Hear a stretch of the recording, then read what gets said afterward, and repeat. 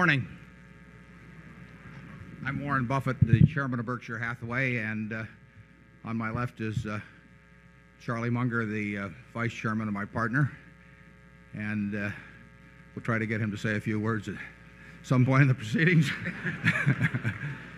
The the format today is going to be just slightly different. We have we have one item to normally, we breeze through the meeting pretty fast, and we'll we'll do that. But we have one item business uh, on the preferred stock that I could tell caused some confusion with people. So uh, I'll discuss that a little bit. And if before the vote on that, anybody would like to uh, talk about the preferred issue, we'll have any comments or questions at that time.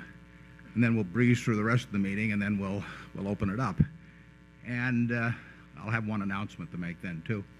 And then after that, we'll go for maybe close to uh, noon. And uh, feel free earlier, anybody that uh, would like to leave, you're free to obviously at any time. Better form to do it while Charlie's talking, as I've mentioned. And you'll have to be quick.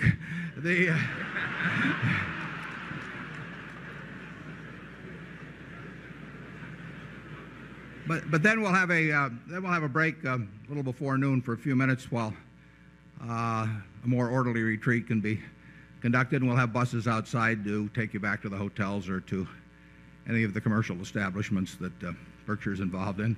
And and then and then uh, because so many of we we have we have people here, at least based on the tickets reserved, from 49 of the 50 states. Only only Vermont is absent. We have but we have Alaska. Why we have we have we have a delegation from every place. We have people from uh, Australia, Israel, Sweden, France, UK, 40 some from Canada. So people a lot of people have come a long way. So Charlie and I will stick around. In fact, we'll eat our lunch right up here. And we will uh, we will you don't want to We don't want to watch what we eat. The uh, But the um, well we'll stick around until perhaps as late as even 3 o'clock. But if if the crowd gets below a couple of 100, then we'll feel we can cut it off. But uh, we do want to we do want to answer everyone's questions. You people are are part owners of the uh, of the company. And any any question that that relates to uh, your ownership of uh, Berkshire, we want to be able to give you a chance to ask. And it's tough because of the numbers of people here. I don't know how many are in the other room, but there are about 3,300, I believe, in this room. And we want to get to you to all of you. So uh, that will come after the uh, after the meeting. Now we've got a little business to take care of. Uh, the meeting will come to order. And uh, I'll first introduce the directors of Berkshire in addition to myself. They're right down here. And if you'll stand up when I give your name. Susan T. Buffett.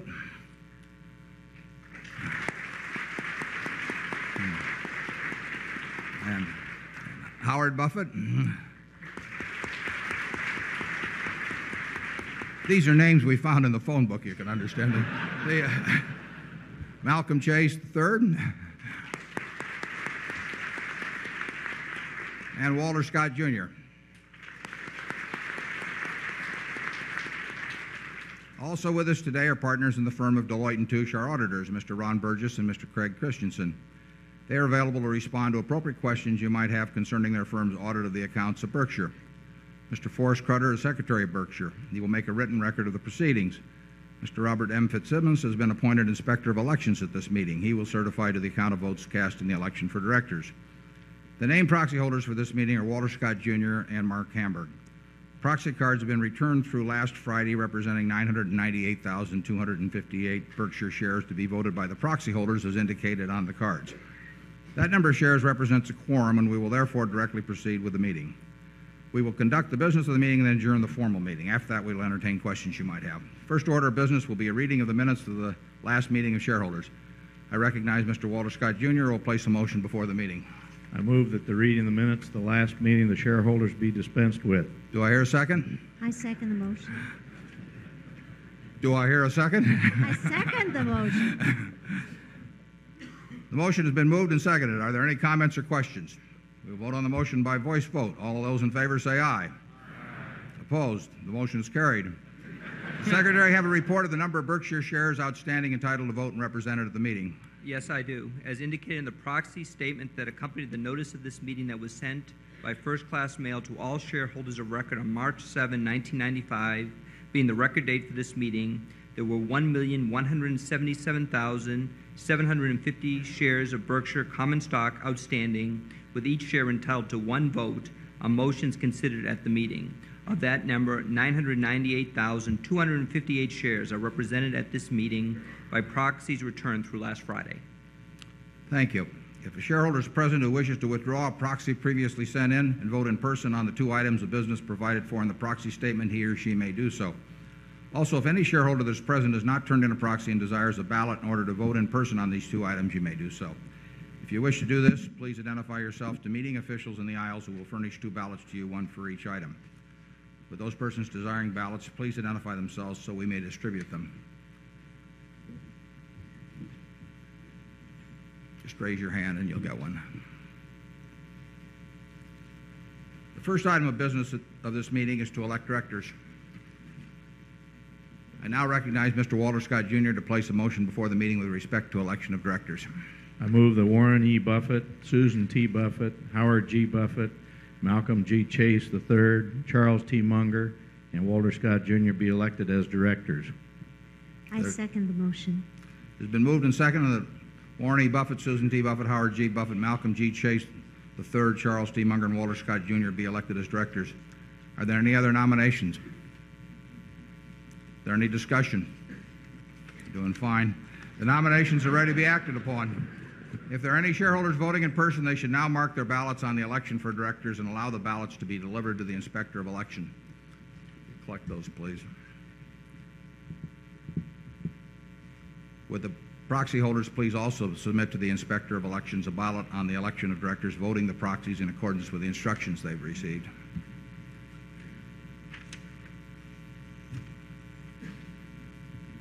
Mr. Fitzsimmons, when you're ready, you may give your report.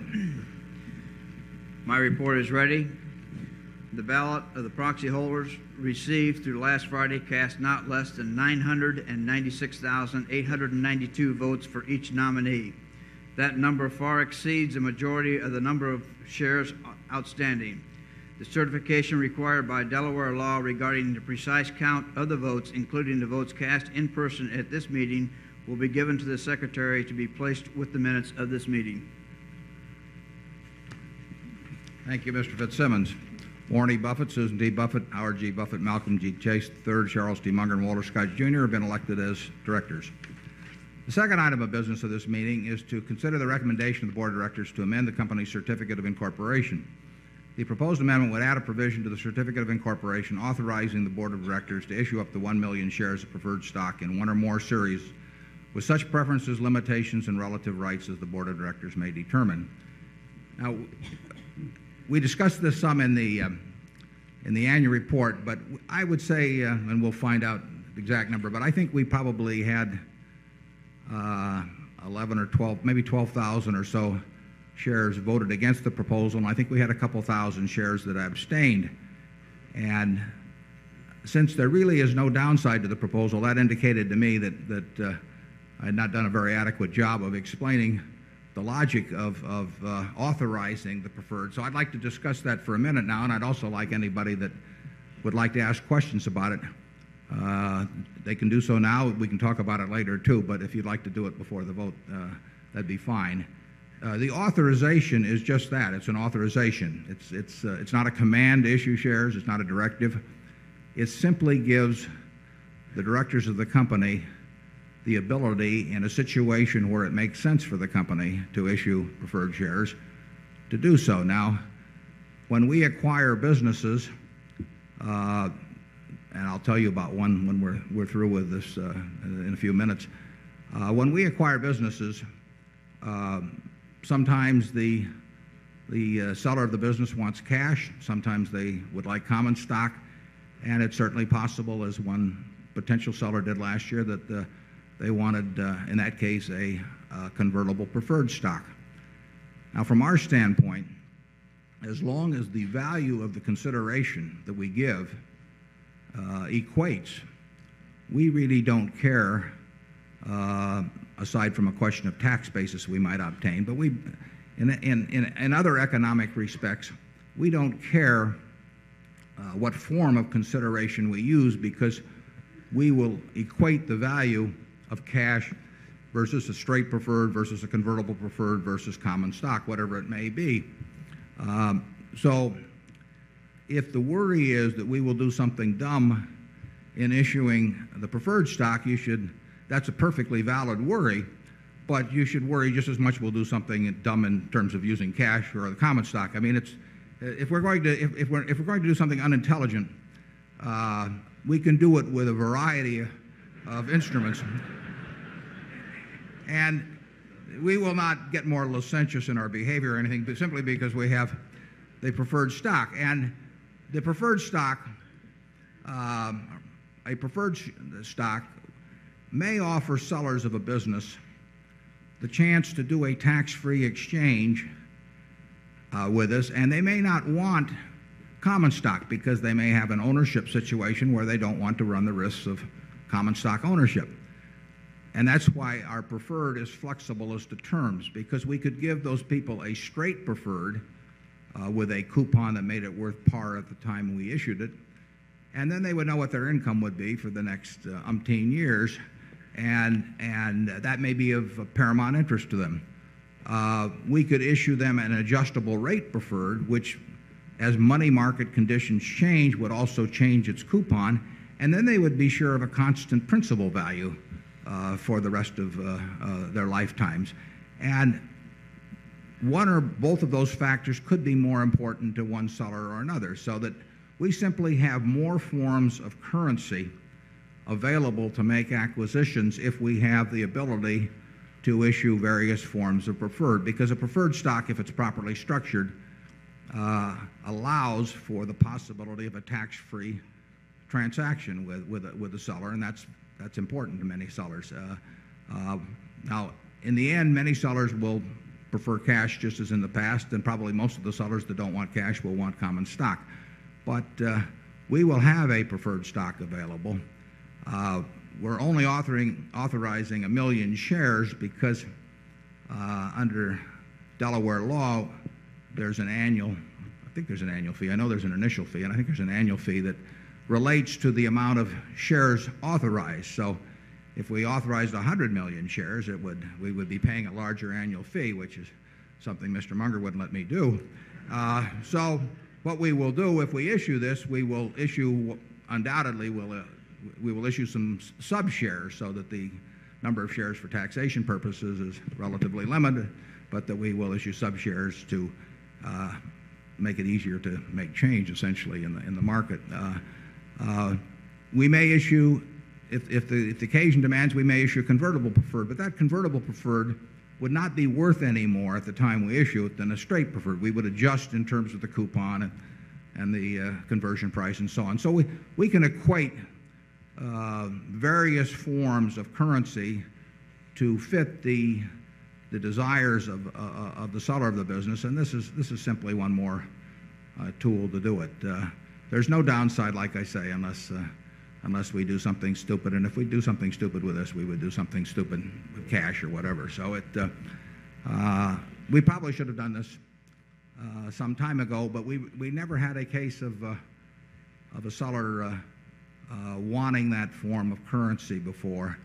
Uh, and so it just, and, and, and we always felt we could get it authorized promptly, but there's no reason to lose a couple of months if a transaction is pending to call a meeting uh, uh, to get this on the books. So it's simply one more tool. And uh, if there are any, if there anybody that has any questions or comments on the preferred, like I say, you can hold them until later, but I'd be glad to have them before we have the vote. Do we have any? Yeah, there's a question over there. If you'll wait just a second, we'll get a microphone to you. when you ask questions now or later, if you'll give your name and, and, where you live, I'd appreciate it. Hi, my name is Dr. Lawrence Wasser. I'm from New York. Um, my question is this If you want to buy a business and uh, the people in the business want cash, you have to have cash. Um, cash that, you know, this kind of cash. Um, We're familiar with it. Yeah.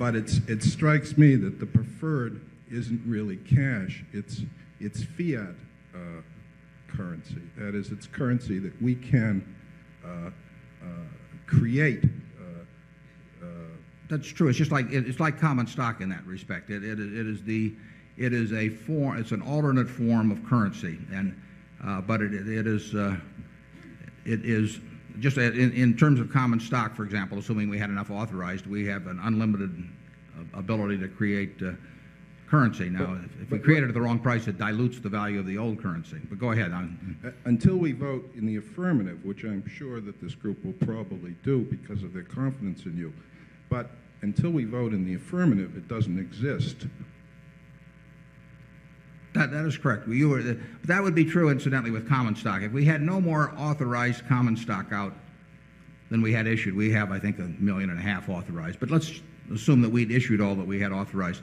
Until more was authorized by the shareholders, there would, it would not be available to be issued. But if more were authorized by the shareholders, then isn't it true that the uh, value of the shareholders' uh, um, holding would be diluted?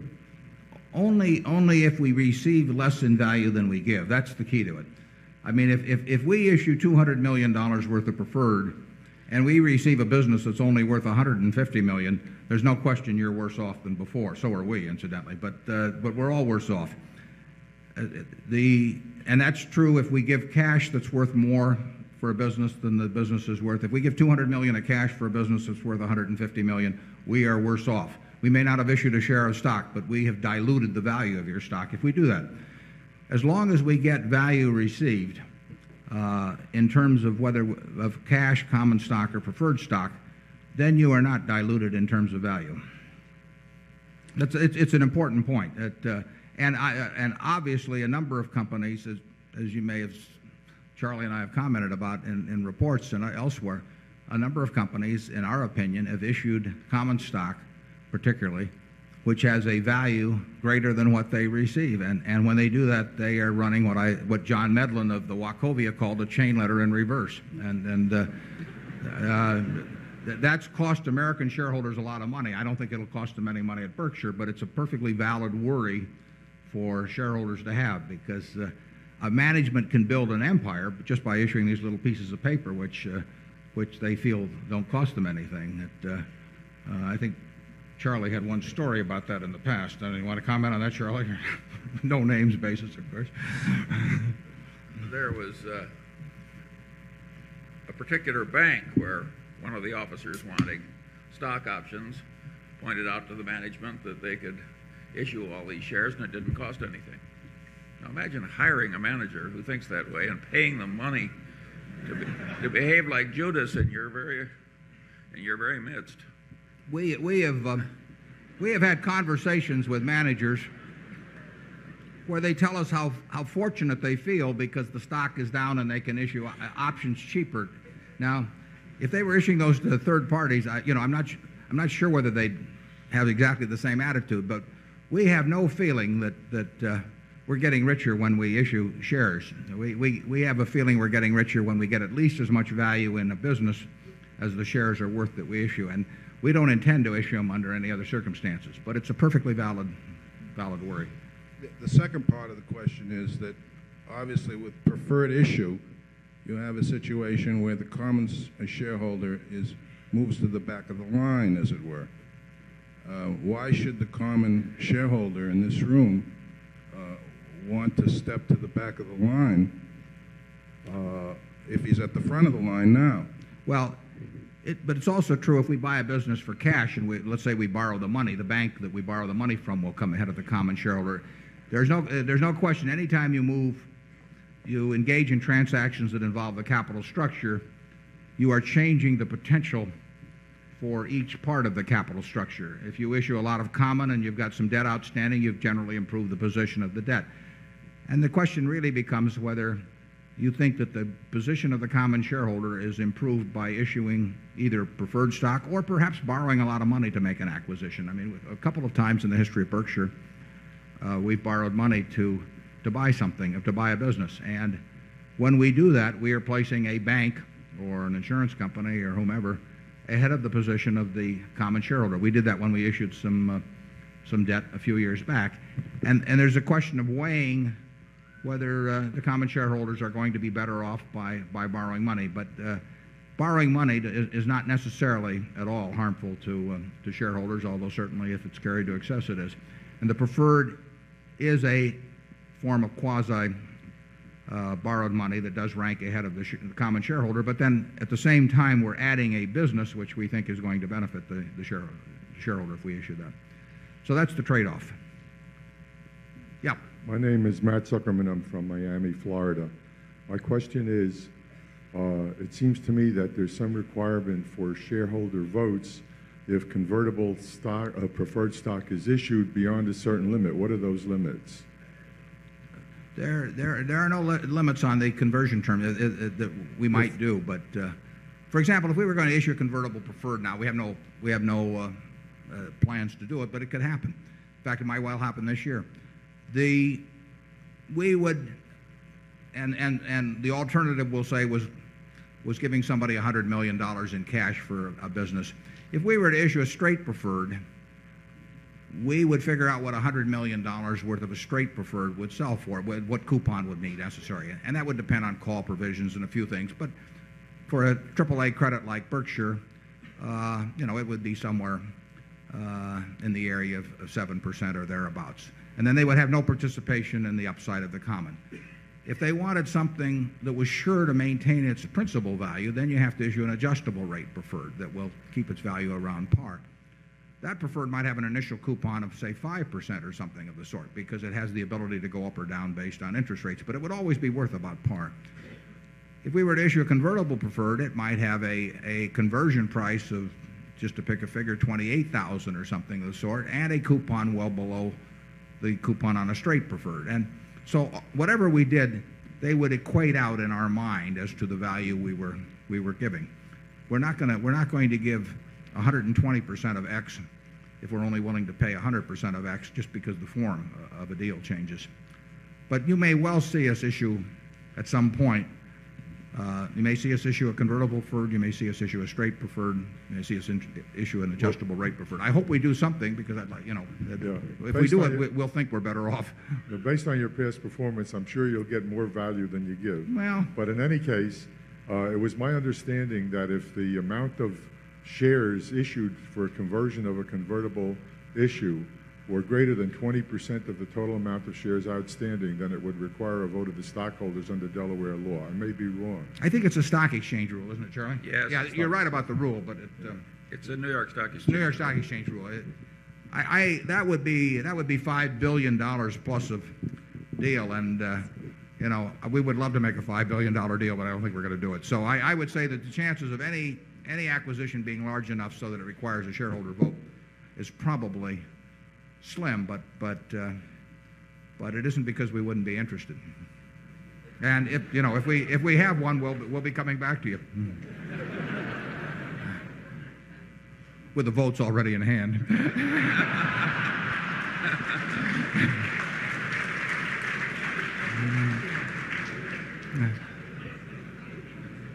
Are there any other questions on the preferred?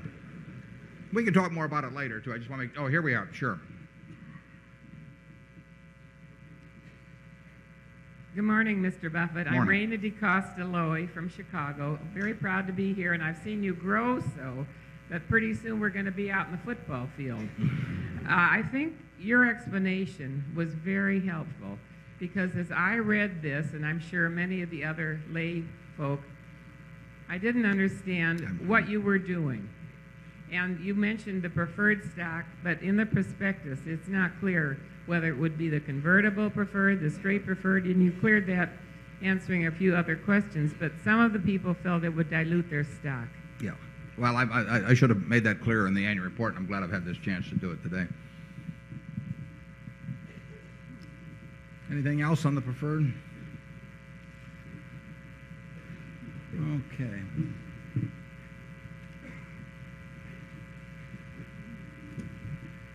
You don't have to come back to the shareholders for a vote after these shares are authorized for the terms of it. Um, and you've discussed this in terms of buying companies. My question is, you yourself, uh, uh, through Berkshire Hathaway, own the preferred shares of, sh- of several companies, Salomon, U.S. Air, American Express. Did those shareholders have to vote on the terms of the preferred shares that you bought for those companies, or was that left to, at the board of directors' decision level? Could you clarify those- that point? Go, excuse me, go ahead.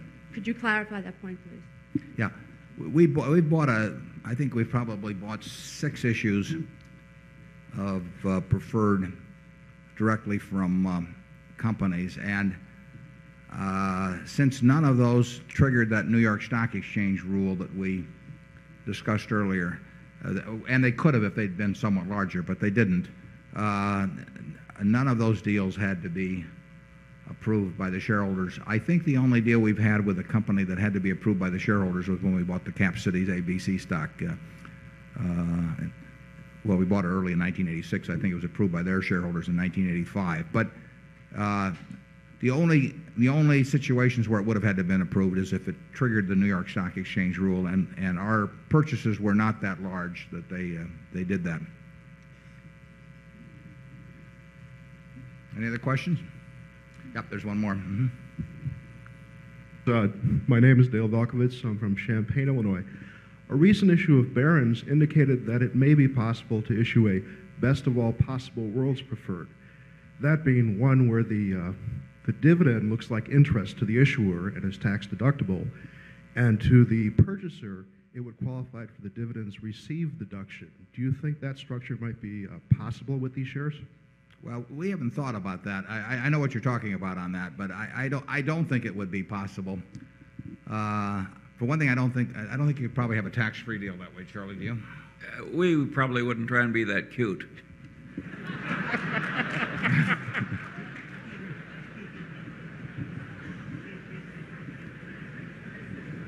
I've got several quips in mind, but I think I'll keep them to myself.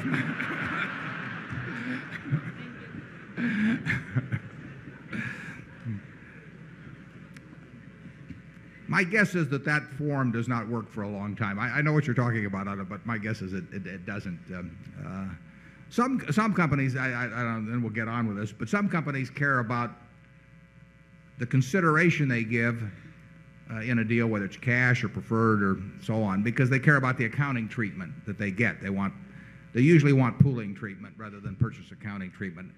I won't get into that here. I know it's going to disappoint you, but I won't get into that here. Uh, although I may in the next annual report. And uh, uh, that is of absolutely no consequence to us. We care not a whit about the uh, accounting treatment that we receive. We feel that we have a shareholder body that's intelligent enough to understand the economic reality of a transaction and that, that by playing various games in terms of how we try to structure it and maybe flow part of the purchase price back through the income statement or anything of the sort, that, which is done, uh, is not, that's not something that we're, that we care about at all. We would rather do whatever makes the most sense for us and for the seller, and then explain to you whatever accounting peculiarities may arise out of the transaction. And uh, that probably differentiates us from uh, most companies, and it probably helps us make a deal occasionally.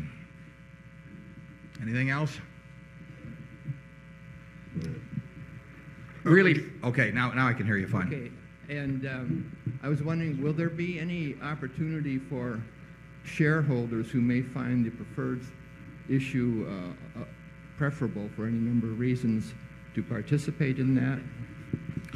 Well, if we issued a preferred and be, it became actively traded, let's say it was a company with many shareholders instead of a few, obviously uh, that would be something that, that uh, any new or, present shareholder could make a decision on whether they preferred that issue than others. We could, but we have no plans of doing it, and I don't think, I don't, I don't see it happening. We could offer to exchange preferred for present common. And uh, it's conceivable a few people would have an interest, but the, most people have self-selected in terms of the kind of security they want to own in terms of owning Berkshire Common, so it's unlikely they would want to switch into a preferred because there would, we, would, we wouldn't have a premium of value. It would just be an alternative security. We could do that, though. I mean, that, and, and it would probably be a tax-free deal. We have no plans of doing that, but it's, uh, it's something that if we ever thought that enough people might want, uh, we could offer it. But, uh, no one would be obliged to take it. It's a good question. Okay, we'll move on. Is there a motion to adopt the Board of Directors' recommendation? Uh, I move the adoption of the amendment to the fourth article, the certificate of corporation as set forth in Exhibit A of the company's proxy statement for this meeting. Is there a second? I second the motion. Motion has been made and seconded to adopt the proposed amendment to the certificate of incorporation. Any further discussion? We are ready to act upon the motion. If there are any shareholders voting in person, they should now mark their ballot on the proposed amendment to the certificate of incorporation and allow the ballots to be delivered to the inspector of election. I think we're collecting a few there. Would the proxy holders please also submit to the inspector of elections a ballot on the proposed amendment voting the proxies in accordance with the instructions they have received? Wait just a second here.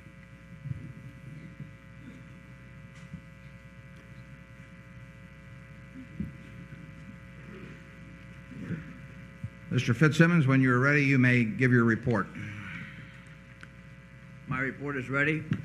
The ballot of the proxy holders received through last Friday cast not less than 928,889 in favor of the proposed amendment to the certificate of incorporation. That number far exceeds the majority of the number of all shares outstanding.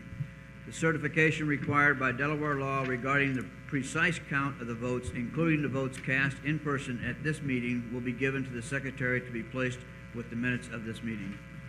Thank you, Mr. Fitzsimmons. The amendment to the certificate of incorporation is set forth in Exhibit A to the proxy statement for this meeting is approved. After adjournment of the business meeting, I will respond to questions that you may have that relate to the businesses of Berkshire, but do not call for any action at this meeting. Does anyone have any further business to come before this meeting before we adjourn? If not, I recognize Mr. Walter Scott Jr. to place his motion before the meeting. I move this meeting be adjourned. I second the motion. Motion to adjourn has been made and second. We will vote by voice. Is there any discussion? If not, all in favor say aye. All opposed say no. The meeting is adjourned. now, I'd like to tell you about one thing that, uh, since the annual report, that some of you probably read about in the, uh, in the papers, but uh, maybe not all of you have heard about. Just shortly after the annual report was issued, we uh, completed a transaction uh, uh, with Helzberg's Diamonds, with Barnett Helzberg, who's here today. And Barnett, would you stand up, please? Right. There he is. Give him a hand.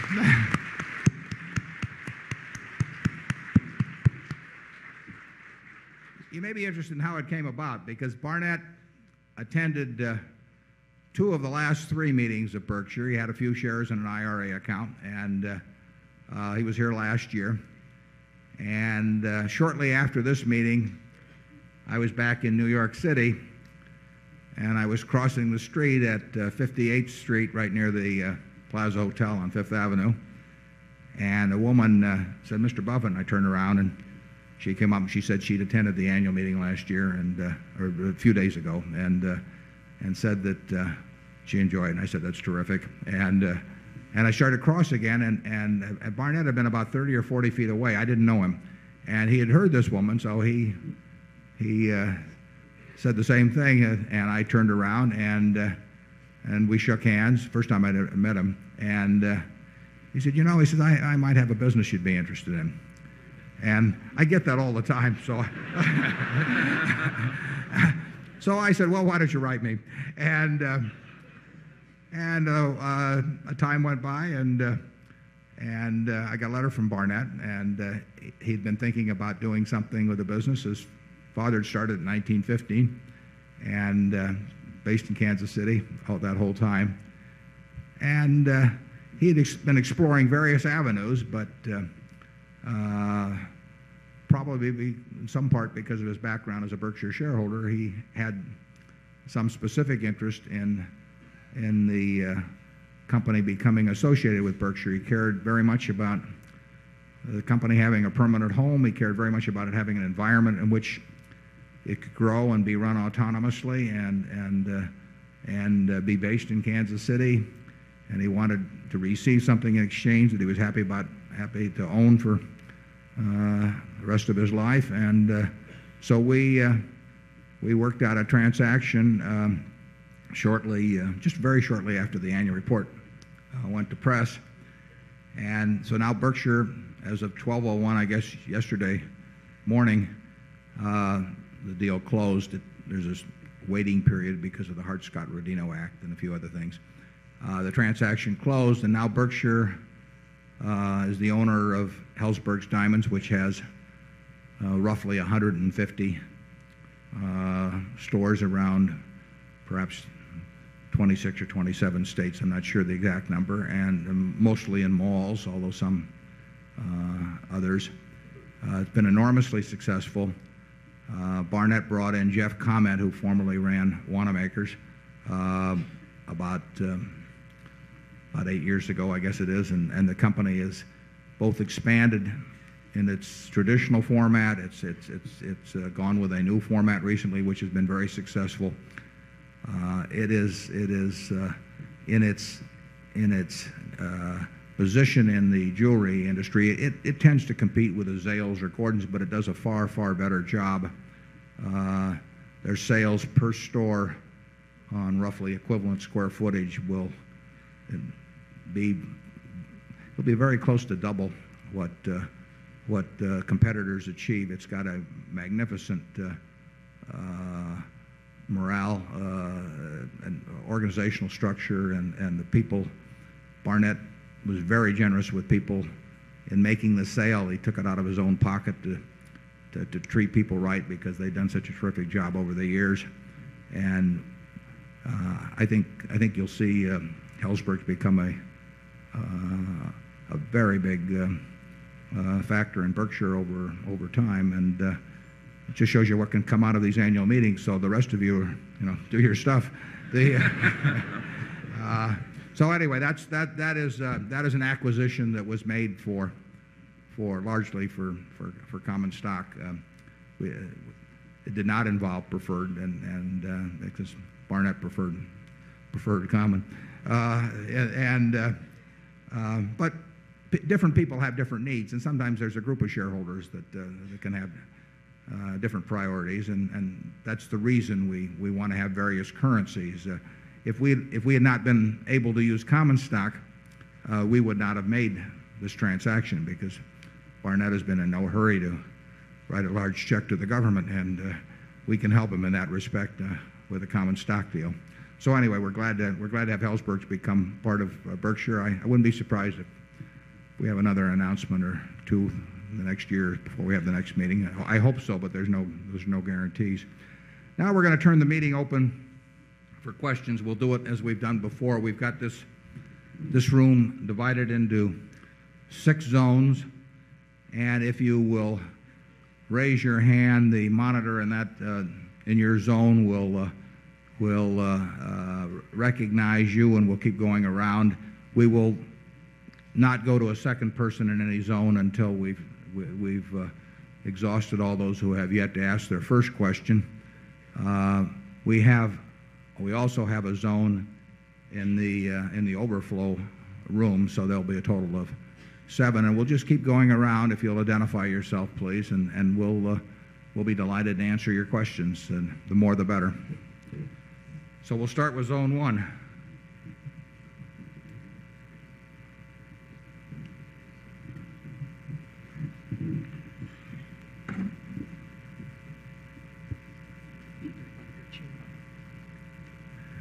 My name is Fred Ilfeld Jr. from Sacramento, California. And I wanted to ask uh, if you could elaborate upon the logic of adding two family members to the Board of Trustees. Well, it, it, it's terrific for family harmony, just to start with. the, uh, as I've talked about in the annual report, the, uh, if, if, if, if, I, if I die tonight, you know, my stock goes to uh, my wife, who is a member of the board of directors, and she will own that stock until her death, uh, when it will go to a foundation. So there is a desire to have a as long a term and permanent ownership structure as can really be done in terms of planning and the tax laws and so on. I mean, they, I, I, we have invited people like like Helzberg's to join in with Berkshire into what we think is a particularly uh, advantageous way for them to conduct a business and to know the future that they're joining. And, and part of knowing the future that they're joining involves knowing that, the, knowing that the ownership is stable. And it will be stable for a very long period of time in Berkshire, probably about as long as you can, you can uh, anybody can plan for in this world.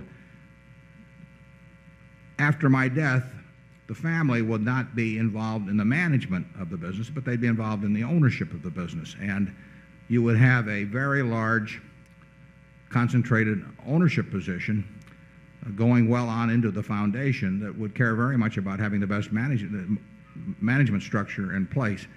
And to, in effect, prepare for that over time, I think it's very advisable that family members who will not be involved in management but who will have a key ownership role to play uh, become uh, more and more familiar with the business and the philosophy behind it. I discussed that some in the, I guess it was the 1993 annual report, because I think it's important that you understand. And anybody that wants to sell us a business, if you've built a business since 1915 and you care enormously about it and you care about the people that you've developed, but you've got something else you want to do in life, uh, it's more you know, than advertising your car in the paper to sell it. I mean, it, it, it, it is an important, a very important transaction to you, not just in terms of how much money you receive, but in terms of, of, of, of who you deliver thousands of people that have joined you, who you deliver them to. And uh, I think we have a structure that is about as good as you can do. Nothing is forever, but we have a structure that's about as good as you can do in terms of people knowing what they're getting into when they when they uh, uh, make a deal with us and, and, and being able to count uh, on the conditions that prevail at the time of the deal, continuing for a long period in the future. Many people, I, I had a fellow tell me the other day about a business where he'd been wooed by the acquirer, and uh, you know, the day after the deal, they came in and, and, and uh, fired the top half dozen people. They'd had a secret plan all along. Well, I don't think you run into much of that but what you do run into is the, the, the company that's the acquiring company itself either being acquired or some new management coming along or some new management consultant coming along and saying, well, this doesn't fit our strategic plan anymore, so let's dump this division. And people that join in with Berkshire can be relatively, uh, I think, comfortable about nothing like that happening. That, um, Charlie, you want to elaborate on? Uh, no.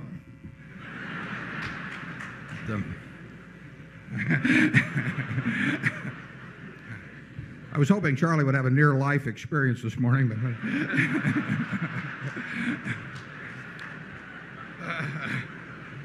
keep encouraging him. Uh, zone two.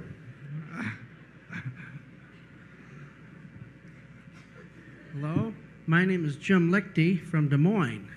I'm interested in, uh, like Chrysler. Can you make a comment on, uh, on the Chrysler Corporation?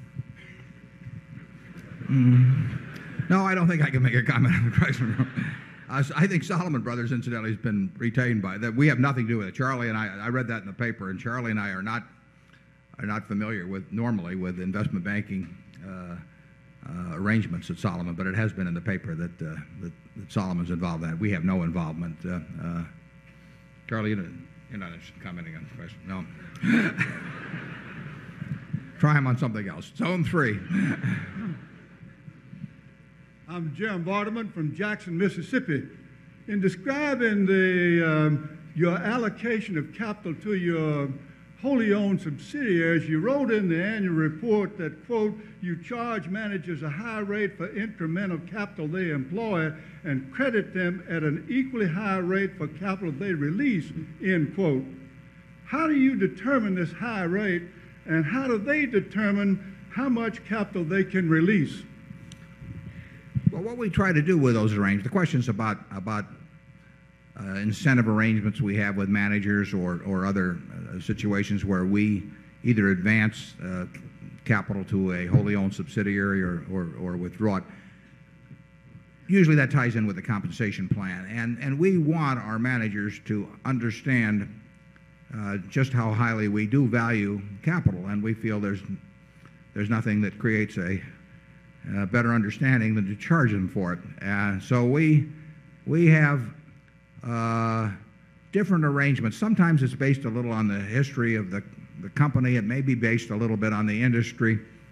Uh, it may be based on interest rates at the time that we first draw it up. We have, we have arrangements depending on the uh, on those variables and perhaps some others and perhaps just uh, you know how we felt the day we drew it up that range between 14% and 20% uh, uh, in terms of capital advanced. And sometimes we have an arrangement where if it's a seasonal business where for a few months of the year when they have a seasonal requirement, we give it to them very cheap at LIBOR, but if they use more capital over beyond that, we start saying, well, that's permanent capital, so we charge them considerably more.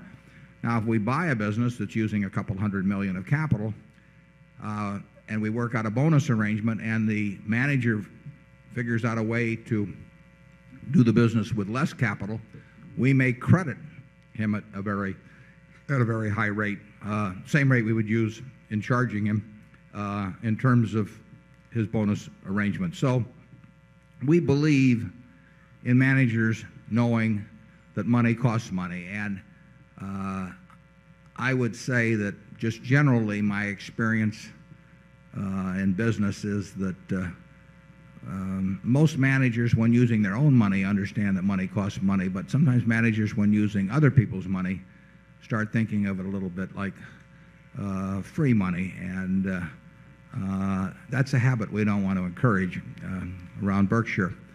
Uh, we, by sticking these rates on capital, we are telling the people who run our business how much capital is worth to us. And uh, I think that's a useful guideline in terms of the decisions they're making because we don't make very many decisions uh, about our operating businesses. We make very, very few. I don't see uh, I don't see capital budgets in most cases from our 100% owned subsidiaries. And if I don't see them, no one else sees them. I mean, we have no staff at headquarters looking at this kind of thing. We give them great responsibility on them, but we do want them to know how we calibrate the use of capital. And uh, uh, so far, I would say it's, it's, it's, really, it's really worked uh, quite well.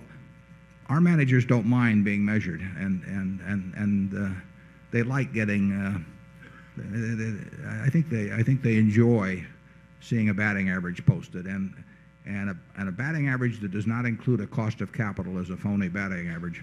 Charlie? Well, I certainly agree.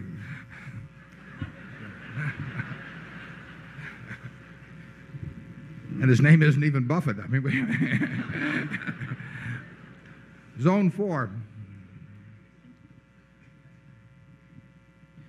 Hi, my name is Dave Lankus. I'm with Business Insurance Magazine. Some uh, property casualty risk management experts are advising commercial insurance buyers to forge five and 10 year policies with their uh, property casualty insurers to uh, promote stronger partnerships with their insurers as well as to maintain the smooth PC market of the past seven to eight years. Do you believe this idea will take hold for most policyholders? And if so, what would be the implications for policyholders' costs and insurers' underwriting results? The question is about partnerships between probably commercial policyholders and their insurers. Uh, and there are a lot of ways of doing that by various retrospective plans or, or uh, uh, adjustable rates of various sorts uh, and self-insured retentions and that sort of thing. As a general matter, there are only two reasons for buying insurance. One is to protect yourself against a loss that you are unable or unwilling to bear yourself. And that is partly a, an objective uh, decision, and it's partly subjective. Uh, uh, for example, a manager that's terribly worried that his board of directors may second guess him if he has an uninsured loss, is going to buy a lot more protection probably than the company really needs. but he knows he's never going to have to go in front of his board of directors and say, we just had a million dollar fire loss. And then the next question the director asks is, was it insured? And he doesn't want to answer no. So he may do something that's very unintelligent from the company's standpoint, merely to protect his own uh, position. Uh, but the, the reason for buying insurance is, is whether, and this is true of life insurance, it's true of, it's true of property casualty, it's true of personal insurance, it's true of commercial insurance, is to protect against losses that you're unwilling or unable to, to bear yourself. Or the second reason, which occasionally comes up, is if you think the insurance company is actually selling you a policy that's too cheap, so that you really expect to, over a period of time, to have a mathematical advantage by buying the insurance. Well, we try to avoid selling the second kind uh, and to concentrate on selling the first kind. And we think any company we sell insurance to, and of course, we, much of the insurance we sell is to other insurance companies. I mean, we are a reinsurer in, in very large part. Uh, we are selling them insurance against a loss that they are either unable or unwilling uh, to sustain. And uh, a typical case, you know, might be a company that had a lot of homeowners policies in, in California. And uh, if those include earthquake coverage, they may not be able to sustain the kind of loss that is possible, even though they want to keep a distribution system in place that, that, that merchandises en masse to, to homeowners in California. So we will write a policy. They may take the first 5 million of loss, they may take the first 50 million of loss, depends on their own capabilities, but then they come to us. And we are really uniquely situated to take care of problems uh, that no one else, uh, that, that the companies can't bear themselves and that they can't find anybody else uh, uh to insure. Uh, but we really don't want to insure someone for a loss that they can afford themselves because if, if we're doing that, uh, it may be because they're dumb, but it may be because they also have a loss expectancy that's higher than the premium we're charging, which is not what we're trying to do in business. I think that uh, I, I think probably as compared to 30 years ago that, that uh, risk managers at corporations are probably more intelligent about the way they buy their insurance uh, uh, than, than many years ago. I think it's become a, I, think they're more sophisticated. They've, they've, they've thought it through better. Uh, but there, there is, uh, there's a lot of insurance. There's some, there's a fair amount of insurance bought that doesn't make sense, and there's a fair amount of insurance that isn't bought that should be bought. There are certain companies that are exposing themselves in this country to losses which would wipe them out, and they prefer not to buy reinsurance because it's, quote, expensive. But uh, what they're really doing is, is betting on something that won't happen very often, uh, happening not at all. And if you take a, uh, a huge hurricane on Long Island or you take a major quake in California, there are a number of companies that are not that have not positioned themselves to withstand those losses. And if you're a 63 year old CEO and you figure I'm going to retire in a couple of years, you know the odds are pretty good that that it won't happen on your watch, but the it will happen on somebody's watch. And and uh, we try to uh, sell reinsurance to those people, and, and usually we do, but sometimes we don't. Charlie? Uh, nothing to add. Okay. Zone 5. He's My- saving himself. He'll be dynamite when it gets going.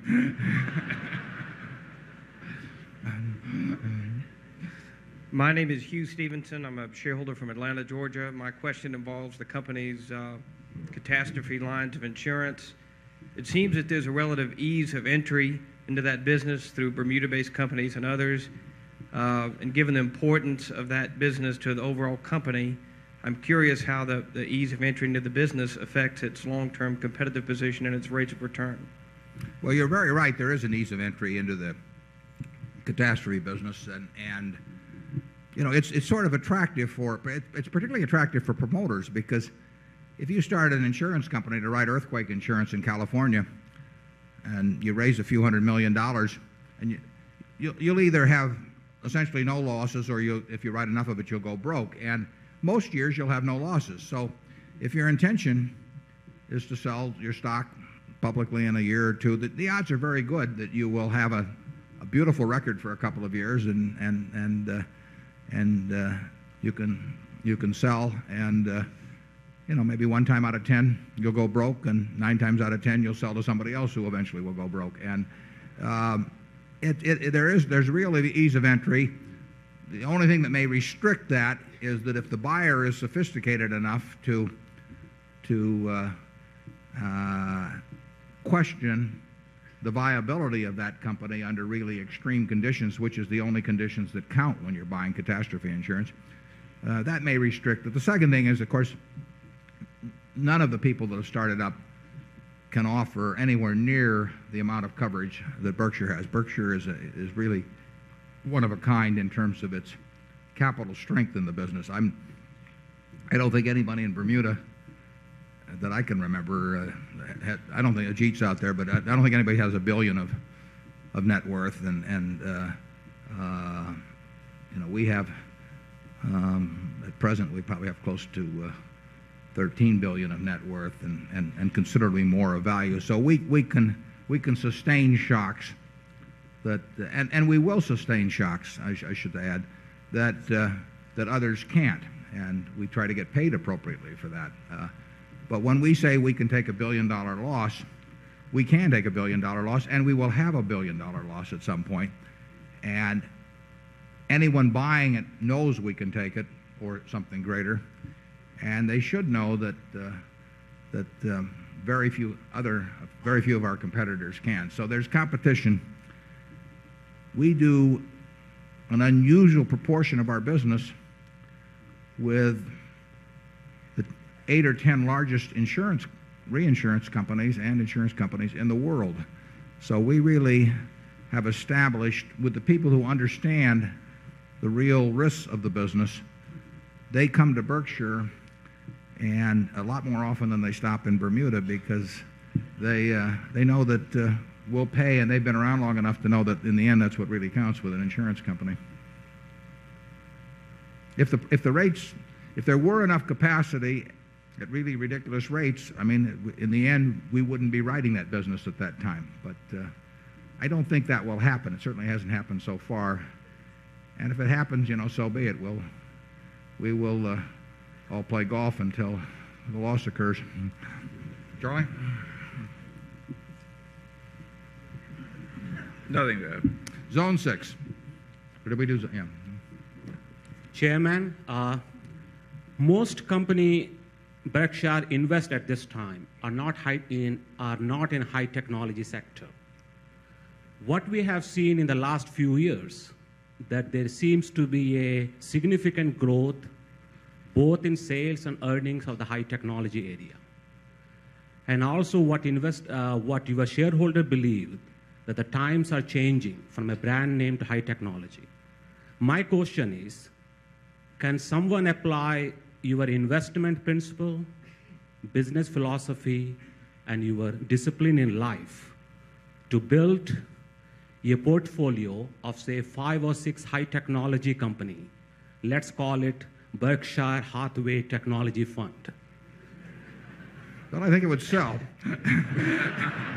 uh, the, uh, the question about uh, Charlie and I won't be able to do it. Uh, we, um, um, Charlie probably understands high tech, but you can see how hard it is to get any information out of him. So it, he, he hasn't told me yet. Uh, we, uh, we try not to get into things we, that, that we don't understand. And if, if we're going to lose your money, we want to be able to come before you, you know, next year and tell you we lost your money because we thought this and it turned out to be that.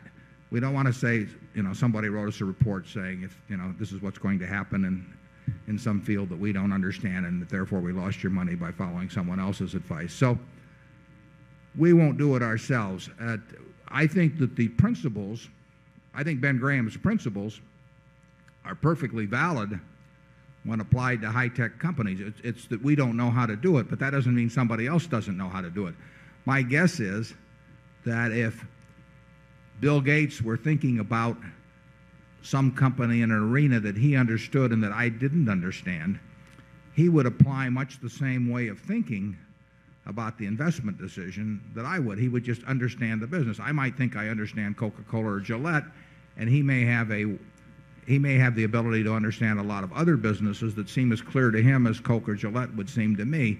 I think once he identified those, he would apply pretty much the same yardsticks uh, in, in, in deciding uh, how to act. I think he would act, I, I think he would have a margin of safety principle. It might, might be a little different because there's essentially more risk in a high tech company, but he would still have the margin of safety principle on a, uh, uh, sort of adjusted for the mathematical risk of loss in his mind. He would have, uh, he, he would look at it as a business, not as a stock. Uh, you know, he would, uh, he would not buy it on borrowed money. I mean, it, a bunch of principles would be carried through.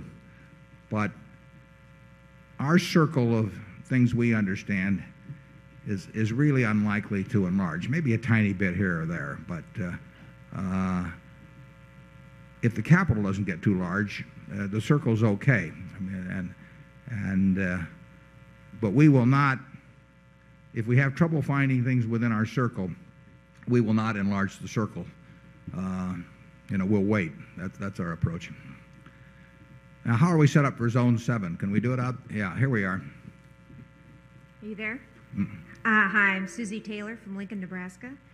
Um, by way of explaining, um, we wrote down the value of U.S. Air reflecting our investment's current market value. You had a good explanation in your report as to why the economics of the business are unattractive, and I presume, given the choice, we wouldn't do it over again. I think that's a fair assumption. And, and, and I should mention, anybody wanted to ask about U.S. Air, we put them in the other room just so you'll know why. Then the second part is better. but I'm watching you. I can see you on the monitor. In quoting from your profound statement, you don't have to make it back the way you lost it. Right. Wouldn't it be a good idea to put that 89 million in something you re- are really behind as opposed to U.S. Air? Well, that's a very good question because it, it, it is true that very, a very important principle in investing is you don't have to make it back the way you lost it. And in fact, it's usually a mistake to make, try and make it back the way that you lost it. And uh, we have, when we write our an investment down as we did with U.S. Air at 89 million, we probably think it's worth something more than that. But we, we, we tend to want to be on the conservative side. But it's worth a whole lot less than we paid. And the nature of that preferred, uh, as well as other private issues we've bought, usually makes it quite difficult uh, to sell. That's one of the things we know going in.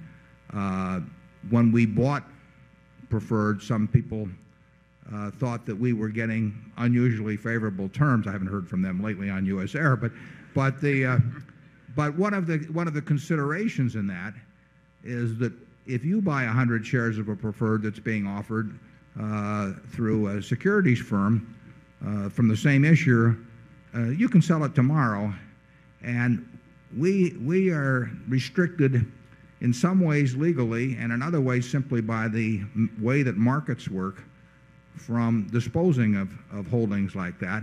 And we know that there's an extra cost involved to us if we should try to sell, or it may be impossible. And that's, that's, not of, that's not of great importance with us because we don't buy things to sell, but it's of some importance. And, and we are not in the same position owning our Series A preferred of U.S. Air as we would be if we'd bought 1,000 shares or 5,000 shares of the Series B preferred, I believe it is, that trades on the New York Stock Exchange.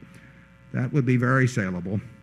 Uh, and and our, preferred uh, could well even be saleable at a price modestly above what we carry it for, but it would require, it would not, it would not be very easy to do. It, it might, it, if it were doable, if it, it, it, it if, it, if we went about to do it, we could probably, assuming we could do it at all, we could probably get a little more money for it. But, uh, but it would not, it would not be easy to do. Partly because of the legal restrictions. Charlie and I are on the board. That complicates things. Uh, we always know something that just by being on the board that the public doesn't know, so that, that complicates things. And in the end, we, we usually find that dealing with anything where we've got fiduciary obligations is, is, is maybe not practical at all, and, and, and, and if it is, it's probably more trouble than it's worth. Charlie? Well, it's uh, certainly been an interesting experience, the U.S. Air experience.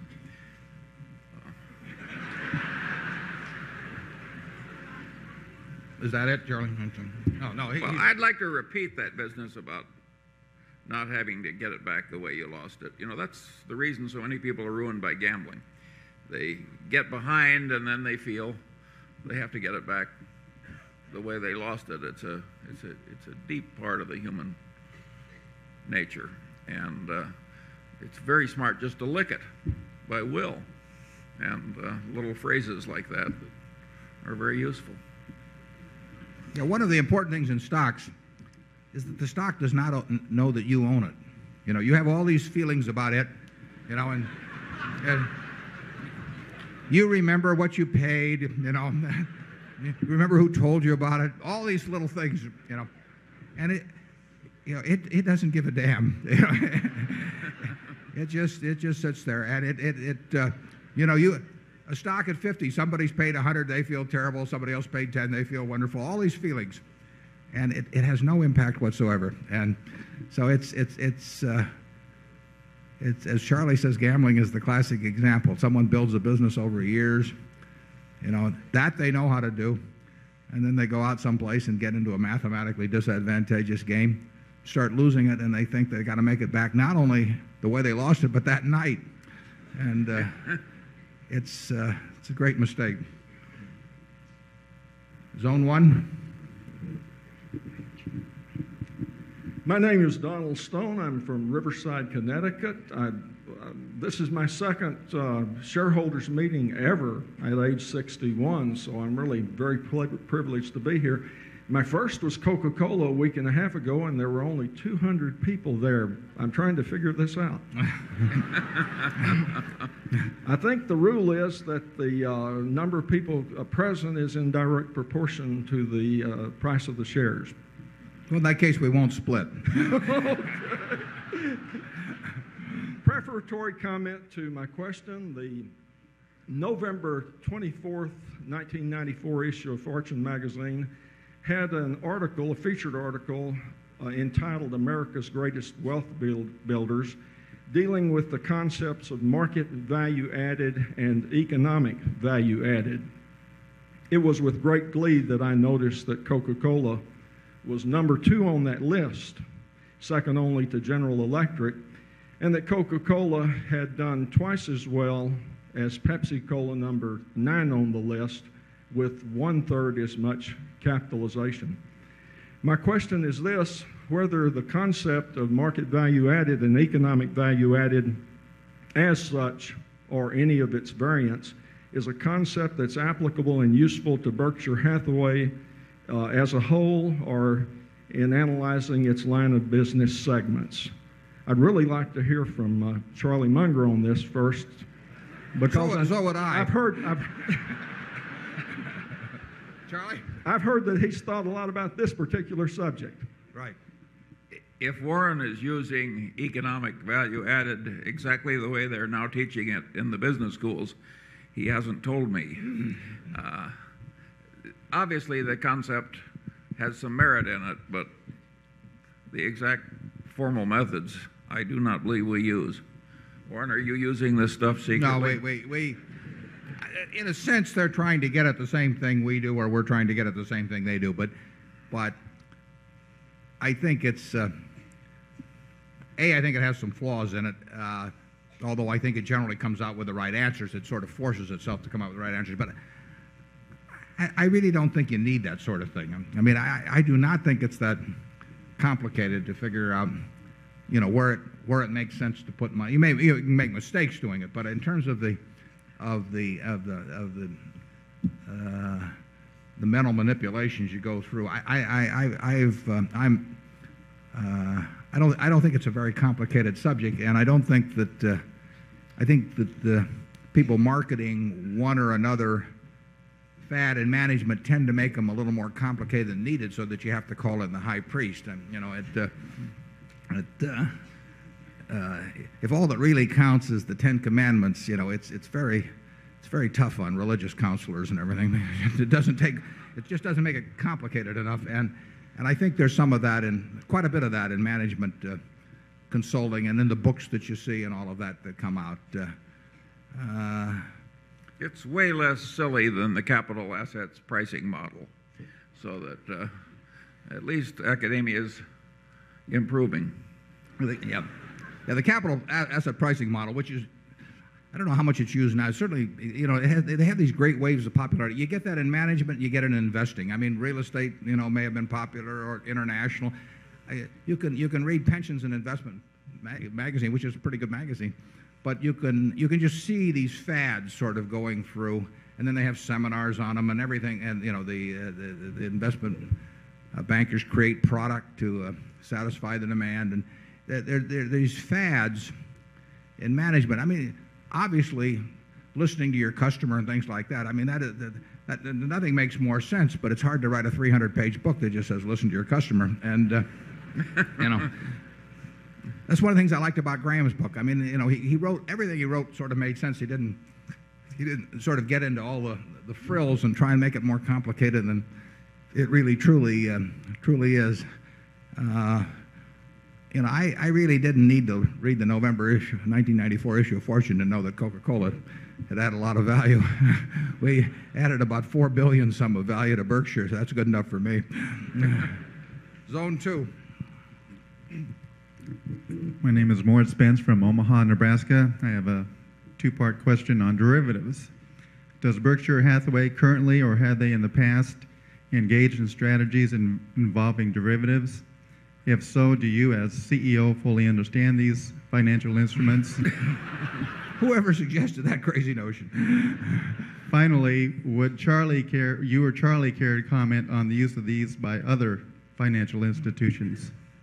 The, um, the question about derivatives, uh, I, the reason I inject that remark in a Fortune article that all of you should read if you haven't, I, I suggested that the use of derivatives would be dramatically reduced if the CEO had to say in the report whether he understood them or not. And uh, uh, the answer to your question, though, is we have um, we have two types, I guess it would be, of uh, derivative transactions of mo- very modest size, but that doesn't mean we wouldn't, if the conditions were right, we either wouldn't have them on a much greater scale now or we wouldn't have done it in the past. We have two types of transactions, uh, and I do understand them. And uh, uh, there are times when there are things that we would want to do um, not often, uh, but there, there would be times when they could be best accomplished by a transaction involving a derivative security, and we wouldn't hesitate uh, to do so. We would obviously care very much about the counterparty because uh, that transaction is just a little piece of paper between two people, and, and it's going to cause one of the two to have to do something painful at the end of the period usually, which is to write a check to the other person. And uh, therefore, you want to be sure that that person will be both willing and able to, uh, to write the check. And so we, we, we're probably more concerned about counterparty risk than most people might be. Last year and the year before, I think I said that derivatives often co- combine uh, borrowed money with uh, ignorance, and that that is a rather dangerous combination, and I think that we've seen some of that in the last year. Uh, when you can engage in sort of non-physical transactions that involve hundreds of millions or billions or tens of billions of dollars, uh, as long as you can get some party on the other side to accept your signature, that really has that has the potential uh, for a lot of uh, mistakes and mischief. And if you've looked at the formulas involved in some, uh, particularly, I guess, interest rate uh, type derivative instruments, uh, it is really hard to conceive of how any business purpose uh, could be uh, solved by, by the creation of those instruments. Um, I mean, they essentially uh, had a huge uh, really gambling element to them. Uh, and I use that in the terms of engaging in a risk that doesn't even need to be created, as opposed to speculative aspects. That they involve the creation of risk, not the transfer of risk, you know, not the moderation of risk, but the creation of risk on a huge scale. And uh, uh, it may be fortunate that uh, in the last year, half a dozen or so cases of people who have gotten into trouble on them have come out because it, that may tend to, to uh, moderate uh, the troubles of the future. The potential is huge. I mean, you can, you can do things in, in the derivative markets. Uh, well, I've used this example before, but in borrowing money on securities, the Federal Reserve and the U.S. government decided many decades ago that society had an interest in limiting the degree to which people could use borrowed money in buying securities. They had the example of the 1920s with what was 10% margin, then was regarded as contributing to the great crash. So the government, through the Fed, established margin requirements and said, I don't care if you're John D. Rockefeller, you know, you're going to have to put up 50% of the cost of buying your General Motors stock or whatever it may be. And they said that maybe Mr. Rockefeller doesn't need that, but society needs that. Don't, we don't want a bunch of people uh, on thin margins gambling, you know, essentially in, in shares where the ripple effects can cause all kinds of problems for society. And that's still a law, but it means nothing anymore because various derivative instruments have made 10% margins of the 1920s, you know, look like what a small town banker in Nebraska would regard as conservative uh, compared to what goes on. So it's been, a, it's been an interesting history. And like I say, perhaps the experiences of the last year, they've got everybody focused on derivatives. Nobody knows exactly what to do about them. Uh, Berkshire Hathaway will, if we, if we think something makes sense, and Charlie and I understand it, uh, we may find ways to, uh, to use them um, to what we think will be our advantage. Charlie, you want to add anything on that? Well, I uh, disapprove even more than you do, which is hard. Uh, if I were running the world, we wouldn't have options exchanges. The derivative transactions would be about 5% of what they are, and the complexity of the contracts would go way down. The clearing systems would be tougher. Uh, I think the world has gone a little bonkers, and I'm very happy that I'm not so located in life that I have to be an apologist for it. You know, a lot of these people, I feel sorry for them. You know, they had great banks and they have to go before people, sometimes even including their children and friends, and argue that these things are wonderful. Zone three. Good morning. I'm John Nugger from Kingsburg, California, and my question relates to Salomon and where I'm just asking if you could take us out the next two or three years in your vision. It started out as a good investment, you got a good return on it or your interest, and it's clearly had some problems, and we have gotten in deeper and deeper as those problems have continued, and it doesn't look like it's super bright. So you must understand where it's going, but could you just give us where you see it going in the next two or three years? Well, I, I think it's very difficult to forecast where, where Salomon or really almost any uh, major investment bank slash trading house uh, will do over actually the next two or three months, let alone the next two or three years. It, uh, uh the nature of that business uh, is obviously uh, far more volatile than the blade and razor business. Now, the, and the tough part is assessing over a longer period of time whether, because of volatility, it's much harder to, to uh, assess whether what the average returns might be from a business. Uh, uh, and the answer is Charlie and I probably, uh, if we were to try and write the forecast for the next two or three years, we would not have a high, uh, a feeling that we had a high probability of being able to predict what uh, that company or other companies in that industry uh, either would earn three years out or would probably uh, have in the way of average earnings. Our own commitment is to a $700 million preferred issue, which has five redemption dates uh, starting in October 31st of this year and then every year thereafter. On those dates, we can either take cash or stock, and that's an advantage, obviously, to, um, to have an option. Anytime you have an option in this world, it's to an advantage. It's, an, it's to your advantage. It may, it may be a very small advantage, but, but it's giving options is generally a mistake, and accepting options is usually, is usually a good idea if it doesn't cost you anything. And we will, the other thing about options is you don't make a decision on them until you have to make a decision. But uh, so we, in addition to that $700 million of preferred, which in our view is 100% money good, I mean, we'd like to own more of that.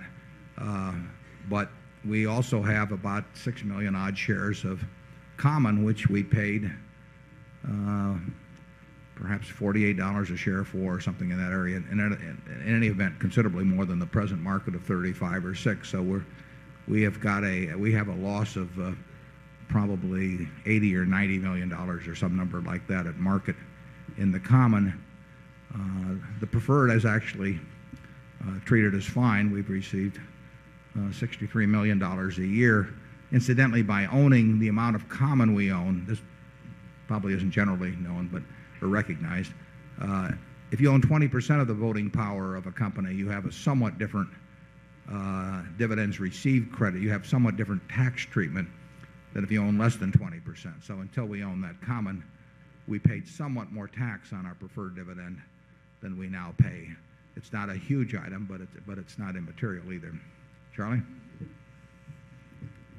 Well, I certainly agree. It's hard to forecast what's going to happen in the, uh, the big investment banking dash slash trading houses. Uh, I would like to say that Berkshire Hathaway was a large customer of Salomon long before we bought the preferred, and that we've had marvelous service over the years. Uh, I think Salomon's going to be around for a long time, rendering very good service to various clients, we satisfied sold, clients. We sold our first uh, debt issue of uh, of uh, Berkshire, I think in 1973, uh, through Salomon. So we've had an investment banking relationship for 21 or 22 years there, and actually we've done business with them before that in, in, in various other ways. So it, it's a long-term relationship. Um, well, there's no question about Salomon being around. The question, and, and that's why our preferred is, is, is absolutely money good. But the, the question is what the average return on capital will be, and and uh, and we knew that was difficult to predict when we went in, and we found out it's even more difficult to predict than we thought. Zone 4. Thank you for the opportunity. Dick Jensen from Omaha, a fellow Nebraska University supporter. Uh, a rather convoluted question. Uh, I'm very interested in uh, your recent purchase and your future intention of American Express. And as I understand the company, I know it's a rather involved and complicated uh, and rather expansive uh, company insofar as it has its interests in many areas. Uh, I know one of which, of course, is the credit card, but there is also the major part of the organization of IDS and others that I don't even know about and I wondered what your uh, hopes are for that investment. And I also, just recently, as perhaps you have, became uh, curious to know if you are personally acquainted with Mr. Phil Carret, I believe his name is, and uh, how about the purchase of his firm in your future? Thank you. Uh, Dick, I think Phil Carret is here today. But Phil, he's right back there. Uh, Phil, would you stand up? There he is. Give him a hand.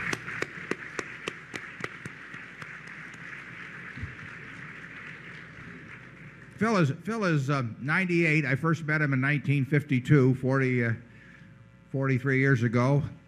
He attends every eclipse uh, around the world, and uh, you can run into him in some very strange places. That uh, wrote his first book on securities, I believe, in 1924. I, am I right on that, Phil? Yeah. And uh, wrote an autobiography here recently.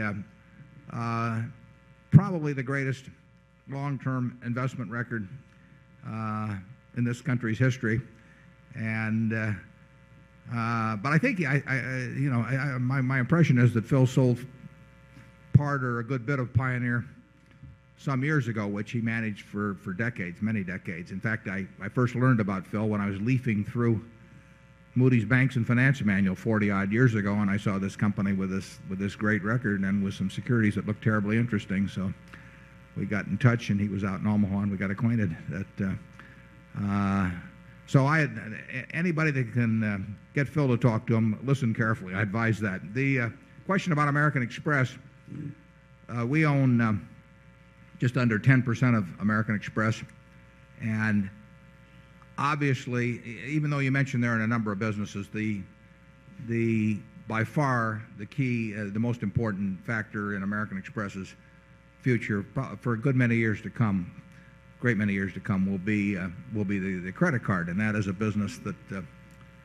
that has become and will forever probably become ever more competitive. I mean, I've followed it since I think I met Ralph Schneider at the Diners Club in the late 1950s, and uh, uh, American Express entered into the credit card business out of fear. I mean, they were they were worried about what the credit card was going to do to their traveler's check business. Traveler's check business had been originated back in 1890 something, I believe, and that was in turn uh, building off of uh, of the old express business, where where uh, I think it was Henry Wells and William Fargo they uh, would chain themselves to the express boxes as they delivered them through to the west, and they decided that maybe issuing traveler's checks would be a little easier than carrying all this stuff around.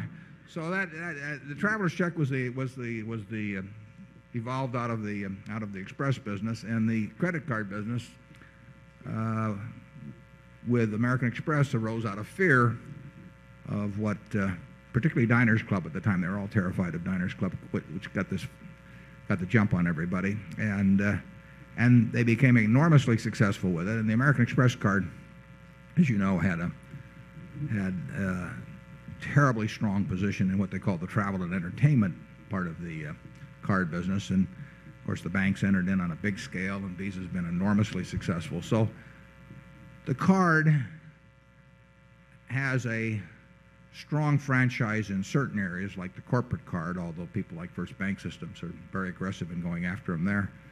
Uh, the card, but the card has a significant franchise, but it does not have the breadth of franchise that it had many years ago. For a while, it was the card, and now it's the card in certain areas, but nothing like as broad an area as before. It has certain very important advantages and, and economic strengths, and it has some weaknesses.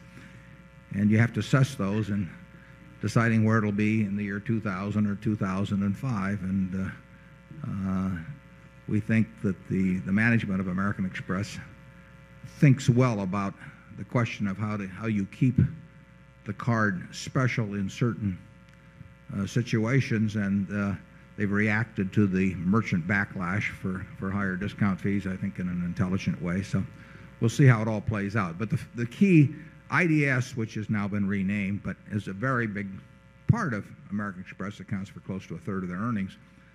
But the real key will be uh, how the card does over time. Charlie? Uh, nothing to add. Zone 5. Hi, my name is Philip King from San Francisco, and my question has to do with how the FASB has caved in on the stock option proposal. And uh, the people opposed to the, uh, the proposal argue that it would hurt capital formation for companies and uh, that the, the, the cost of stock options is already reflected in shares outstanding in, in fully diluted calculations. And I was curious, what is your feelings about what's happened?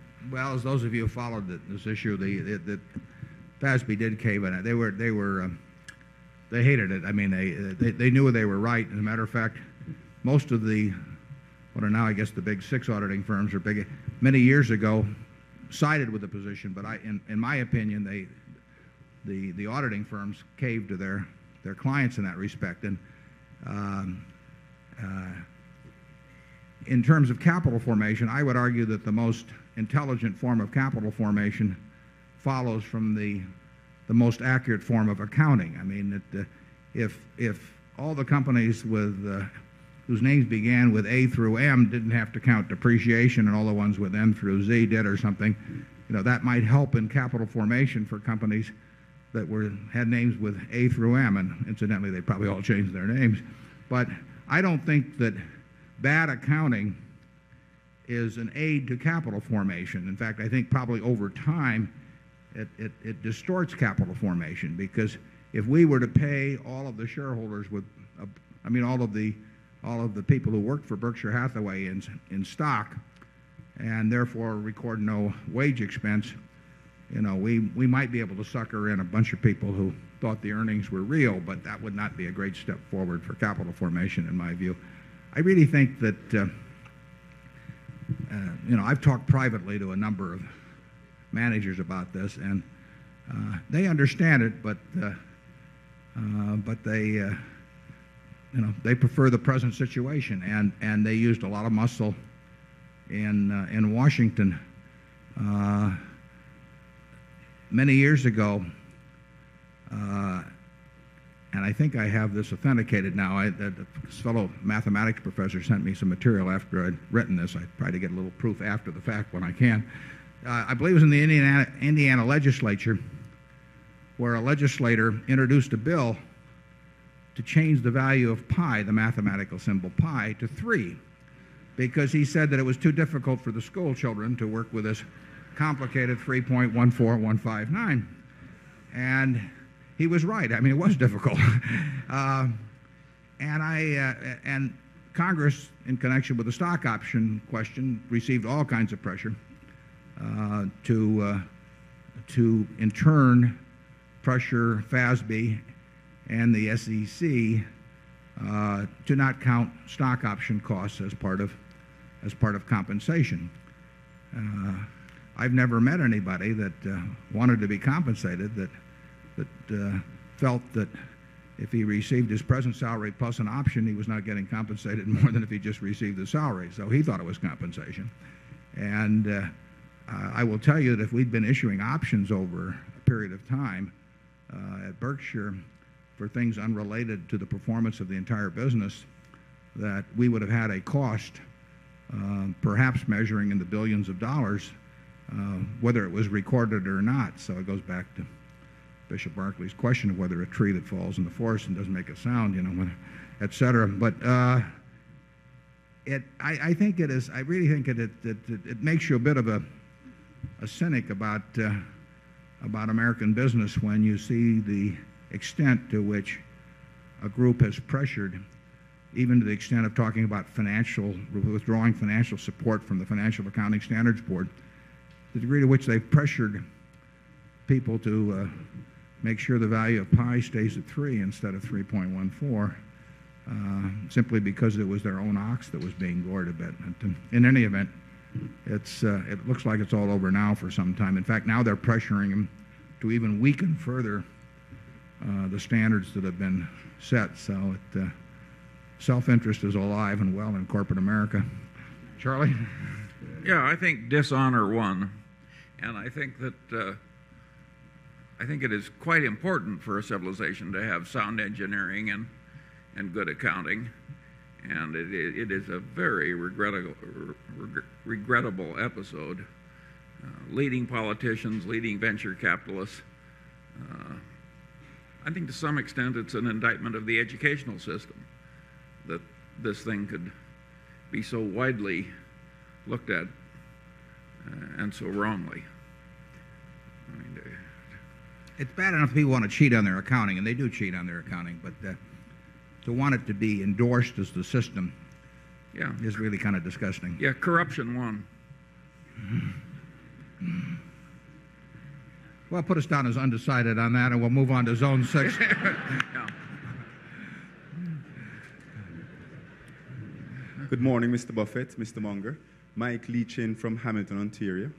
Uh, could you uh, consider availing a videotape of this meeting to us, the shareholders? I didn't quite get that. Would you consider availing this a videotape of uh, the shareholder, this particular shareholder meeting to us, the shareholders?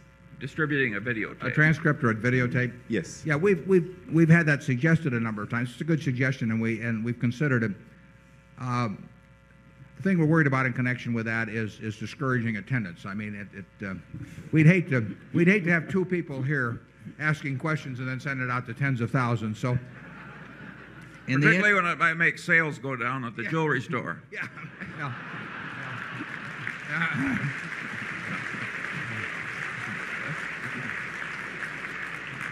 Since we were just attacking hypocrisy in American business, Charlie felt like he should add that to my comments. but we, it, it's a close call on that because we, we would like everybody. We, we, of course, we try to cover a great many subjects in the annual report, but we would uh, we, we like the idea of the meeting answering a lot of shareholders' questions and getting that people. We don't want to discourage attendance, and and it, uh, it it's uh, it's it's fun to have everybody come in and ask questions, and the chances are, if we had far fewer people, we would have you know far more far fewer good questions, so that the quality of the meeting is enhanced, I think, by having a lot of people come. And, uh, but you've come a long way, so I can understand why you might be interested in a transcript. I appreciate that. Thank you. Or no?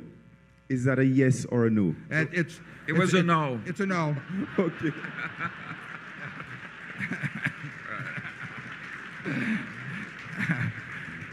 Uh, yeah. Most everything we say is a no, but we have various ways of getting there. But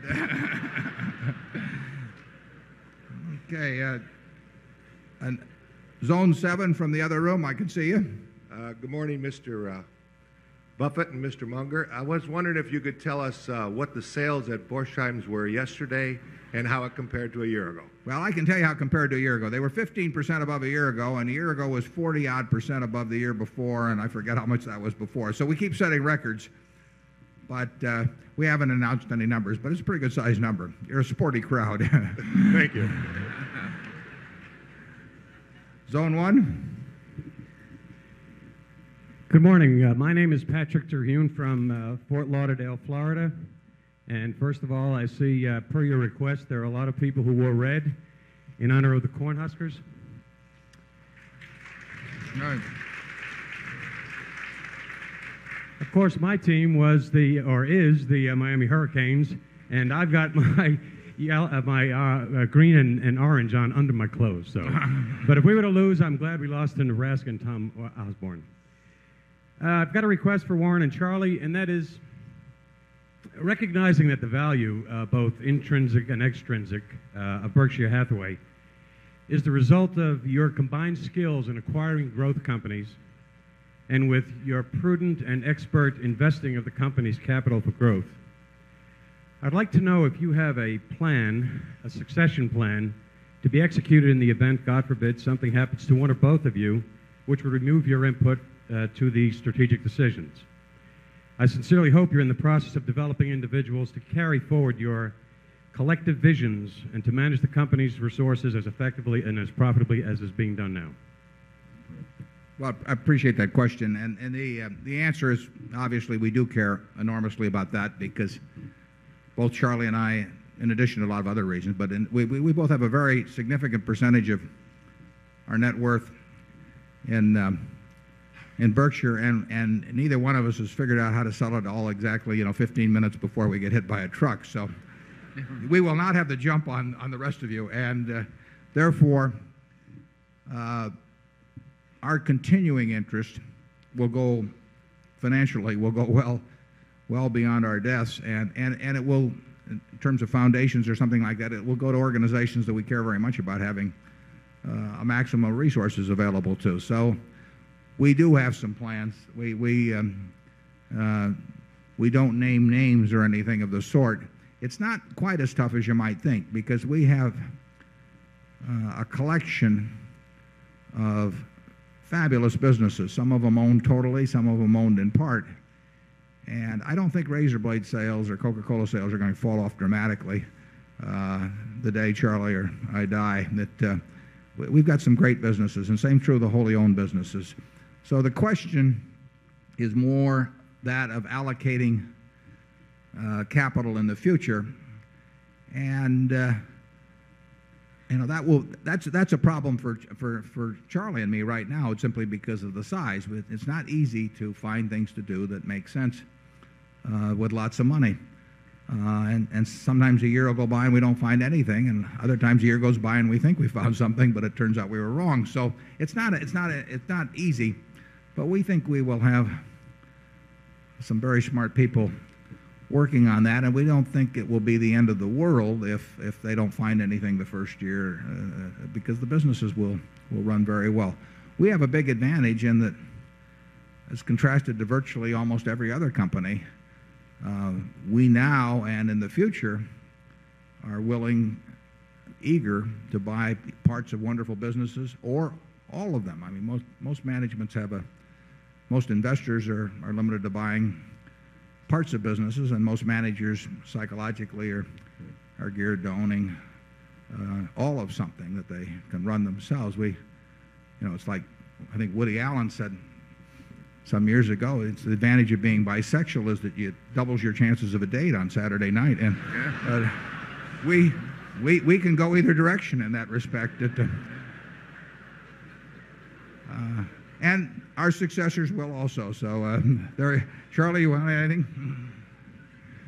I think few business operations have ever been constructed to require so little continuing intelligence in corporate headquarters.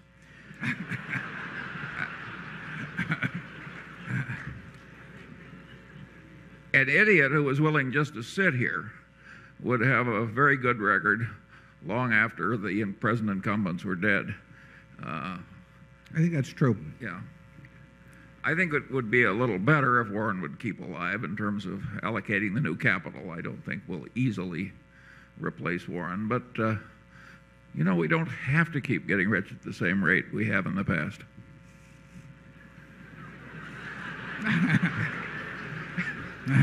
That's a tie vote.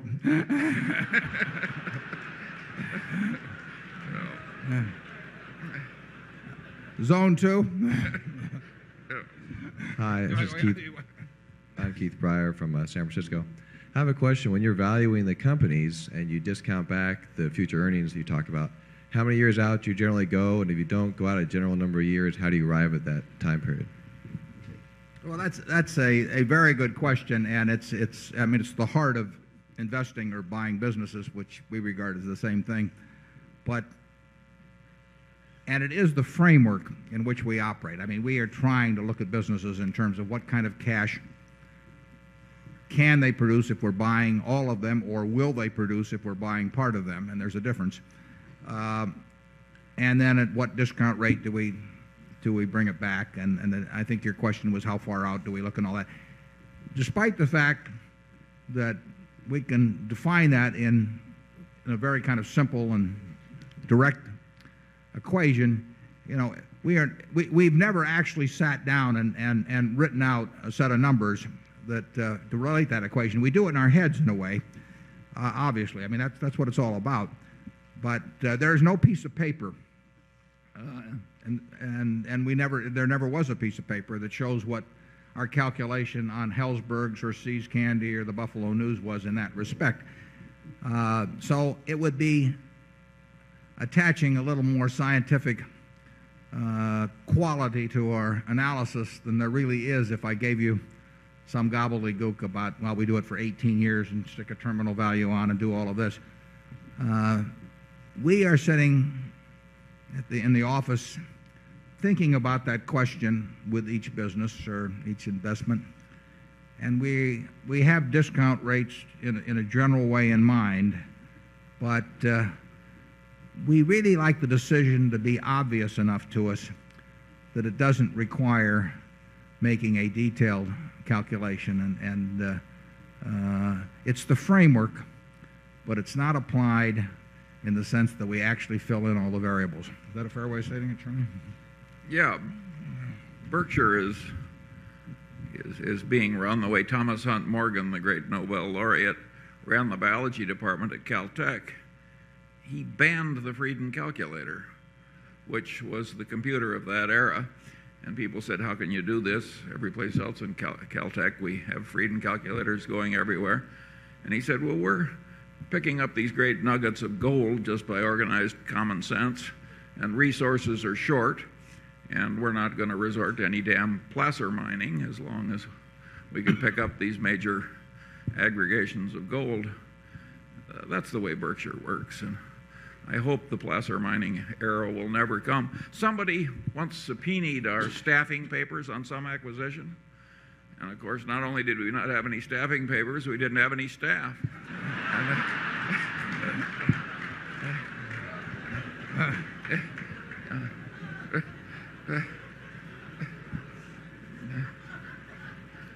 Zone three.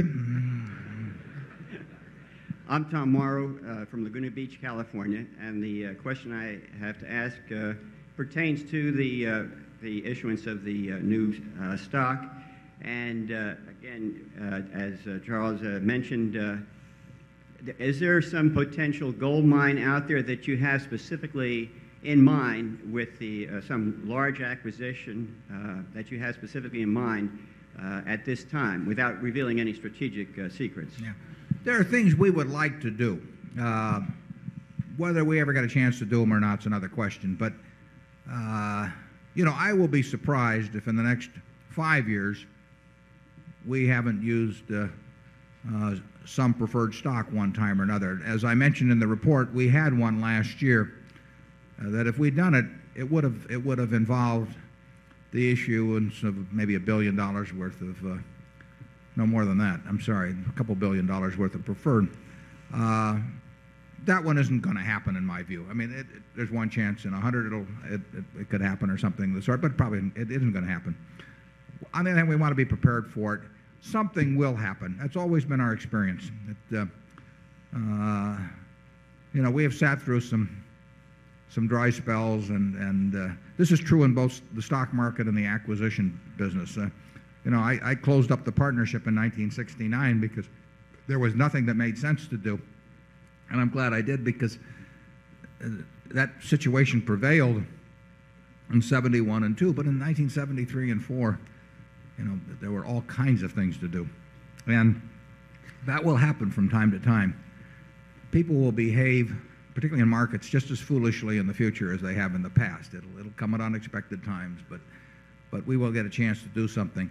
Now, that, that's more of a cash type purchase, obviously, in the market, but we, we will get a chance to, to use the preferred and, and uh, uh, we will try to think about big things. We may not find them, but, but, uh, but Charlie and I, the, the larger something is, the more interested we are. Zone four. Um, Jim Moss from Los Angeles.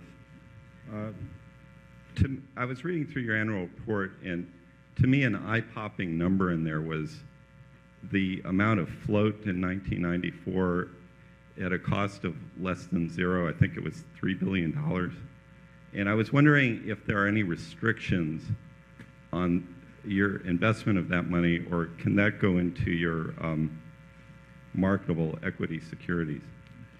The question relates to what we have that long table we put in, we introduced about four years ago or so in the annual report that shows the amount of float and the cost of float, and that's a very important table. Uh, in terms of our operating businesses, that's probably the most important piece of information in the report. And uh, that float is, as you noted, uh, well over $3 billion now. Last year, because of various favorable factors, including the fact that our super cat business was favorable, but also because our other insurance businesses did very well, uh, amazingly well.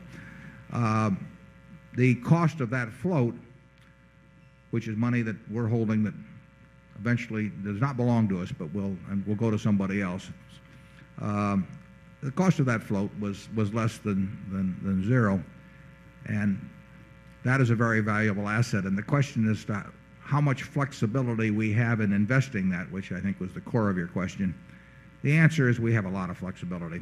Uh, uh, we are not disadvantaged, uh, disadvantaged by by that money being in float as opposed to equity, uh, really in any significant way. Now, if we had a very limited amount of equity and a very large amount of float, we would impose a lot of restrictions on ourselves as to how we would do it because we would want to be very sure that we were in a position to distribute that float in effect to policyholders or claimants or whatever it may be at the time that was appropriate.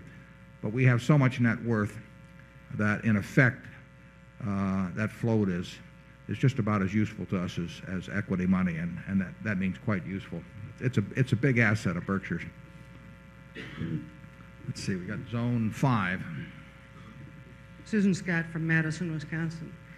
Uh, on a more serious note, are you beginning to feel threatened by the success of the Beardstown ladies? Which lady? I, I, I, which lady was that? I. Uh, I didn't get it.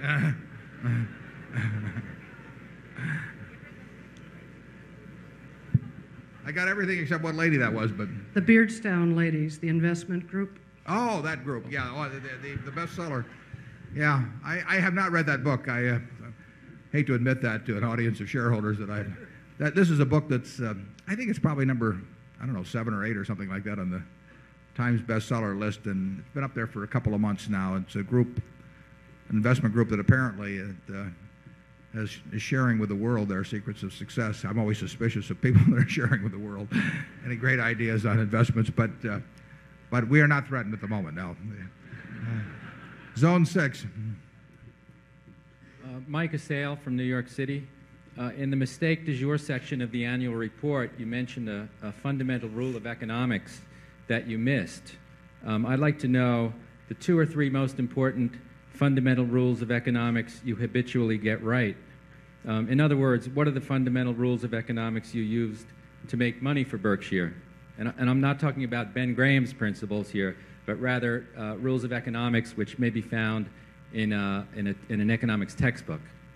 Thank yeah, we, yeah, we try to, I mean, we, we, we try to follow Ben's principles in terms of the attitude we bring toward both investing and in buying businesses. But the most important thing you can, you know, what we're, what we're trying to do is we're trying to find a, a business with a wide and long-lasting moat around it, uh, surround, and, and protecting a terrific economic castle with an honest lord in charge of the castle. And in, in, in, essence, that's what business is all about. I mean, you may want to be the lord of the castle yourself, in, in which case uh, uh, you, you, don't worry about that last factor. But what you're trying to, what, what we're trying to find is a business that, for one reason or another, it can be, it can be because it's the low-cost producer in some area. It can be because it, uh, it has a natural franchise, because of service capabilities, it could, it could be because of its position in the consumer's mind, it can be because of a technological advantage, for any kind of reason at all, that it has this moat around it. And then, our, then what we have to decide is, is, is all moats are, are subject to attack in a capitalistic system. So everybody is going to try, and, if you've got a big castle in there, people are going to be trying to figure out how to get to it. And what we have to decide and most, most moats aren't worth a damn in, in, you know, in capitalism. I mean, it, it, that's the nature of it. And it's a constructive thing that that's the case. But we are trying to figure out what is keeping, why is that castle still standing? And what's going to keep it standing or cause it not to be standing 5, 10, 20 years from now? What are the key factors? And how, how permanent are they? How much do they depend on the genius of the Lord in the, in, in the uh, castle. And, uh, and then if we feel good about the moat, then we try to figure out whether you know, the Lord is going to try and take it all for himself, uh, or whether he's likely to do something stupid with the proceeds, et cetera. But that's, that's the way we, we, we look at businesses. And, um, uh, Charlie, you want to add anything? Well, I think he wants it translated into uh, the ordinary terms of economics. The honest Lord is low agency costs. That's the word in economics. And the microeconomic business advantages are, by and large, advantages of scale. Uh, scale of, of, of market dominance, which can be a retailer that just has huge advantages in terms of, of buying cheaper and, and uh, enjoying higher sales per square foot So you, by and large, you're talking uh, economies of scale. You can have scale of scale of intelligence. In other words, uh, you can have a lord with enough extra intelligence that he has a, a big advantage. So you're by and large, you're talking scale advantages and, and, and, and low agency costs. Yeah, to some extent, Charlie and I try and distinguish between businesses where you have to have been smart once and businesses where you have to stay smart. And uh, I mean, retailing is a good case of a business where you have to stay smart.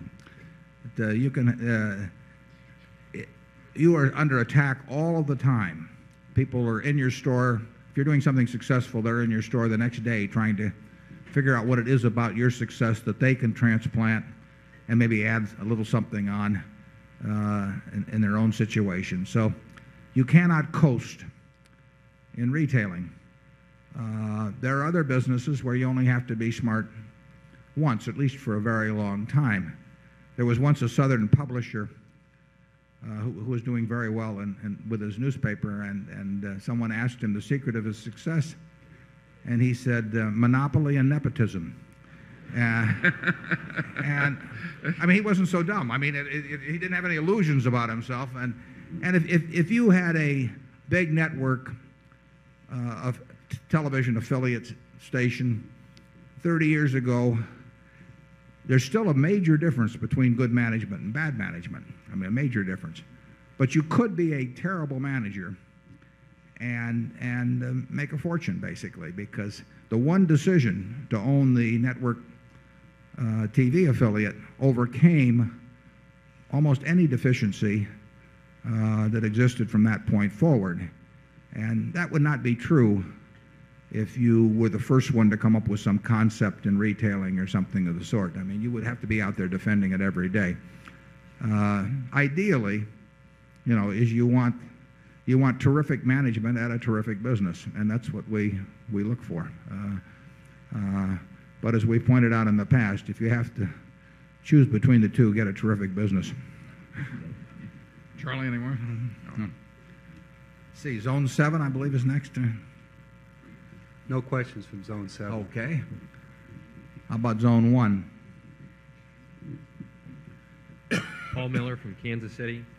Uh, first, I'd like to comment on your purchase of uh, Kansas City based Helzberg Jewelers. Um, you commented about uh, Barnett Helzberg and his, uh, what he's done retailing wise. For those of us in Kansas City, you've also picked up Barnett and Shirley Helzberg, who uh, are the first family in uh, philanthropy in Kansas City. And for the shareholders in this room, the Helzbergs are wonderful people, and to have them added to this uh, group of companies says miles about uh, Warren Buffett and uh, that they pick companies based upon their management and their people. So uh, kudos to uh, Berkshire Hathaway for picking up uh, the Helzbergs, and and thanks to the Helzbergs for everything they've done to Kansas City. Now, my Appreciate that.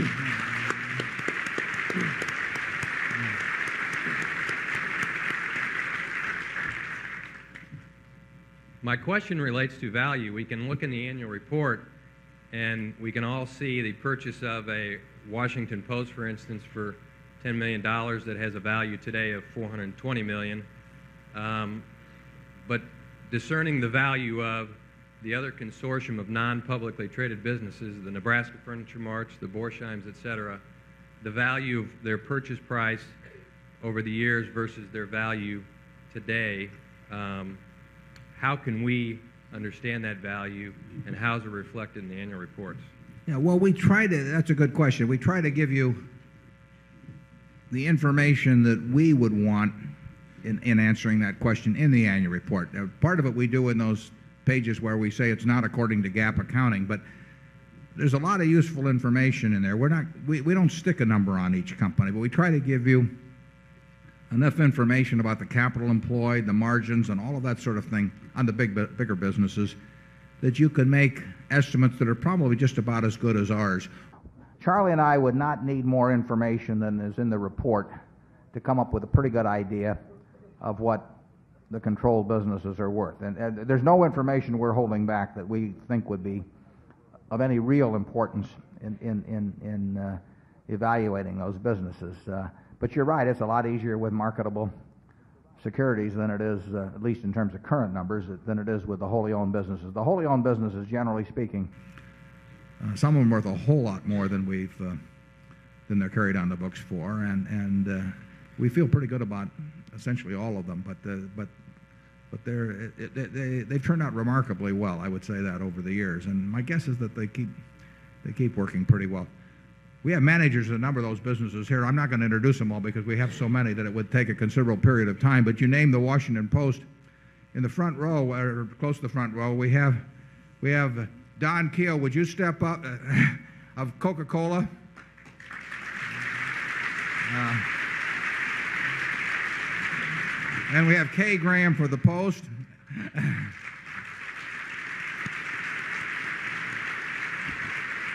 and, and Tom Murphy uh, from Cap Cities.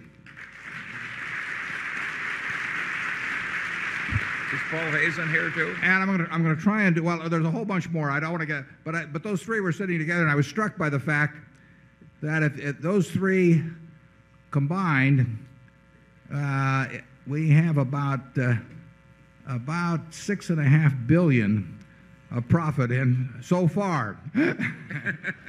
so I would say that that's a. those are three businesses that, that, that have been fantastic, and uh, uh, like I, I, I emphasize so far because people we want that. Uh, like to be able to name a bigger number in the future, but uh, we, we, we, we have a we have a group of managers both at the controlled companies and at the uh, at the uh, partly owned companies that have just created incredible incredible value for Berkshire. I mean, Charlie and I sit around and read the paper every day and uh, a lot of magazines and things and watch O.J. Simpson or whatever it may be. And, and, and uh, these people are out there creating a, a ton of value for us. So we're not going to change it. Uh, now let's see. I think zone, is it zone two now or is it? Yeah. Hello, uh, I'm Tim Palmer from Dillon, Colorado.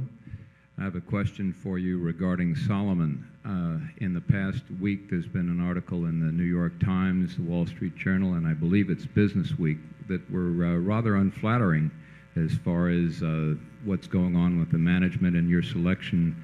There seems to be a somewhat of a cultural clash there. I don't know that to be a fact, but I wondered, number one, how you uh, keep yourself open to bad news before it's news, and what is going on in Salomon uh, there, the compensation plan, et cetera.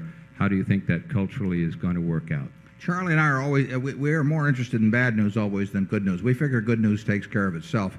And one, we only give a couple of instructions to people when, when they go to work for us. At, uh, and, and one of them is to think like an owner, and the second one is to just tell us the bad news immediately uh, because good news takes care of itself. And we can take bad news, but we don't like bad news late. Um, so I would say, in connection with Salomon, that there is and has been uh, some culture clash, and there probably almost always would be a culture clash uh, in a business uh, where there is that amount of tension, and whether it be the entertainment business or the investment banking business or the sports business. There, there's going to be a certain amount of tension when between compensation to the people that work there and compensation to the owners. And I, I think there's been some that strain has existed at Salomon uh, from the day I was first there and, and, and, and far before that. I mean, I, I, that, that was no surprise. Uh, it's, it's understandable. Uh, you're seeing a tension actually in the airline business between uh, the, uh, the, uh, the people that work there and, and capital. And it's produced terrible results in the airline business. And the people that work there have been able to, to uh, and I'm going to talk about U.S. Air specifically, although that's a case, but, but goes beyond that.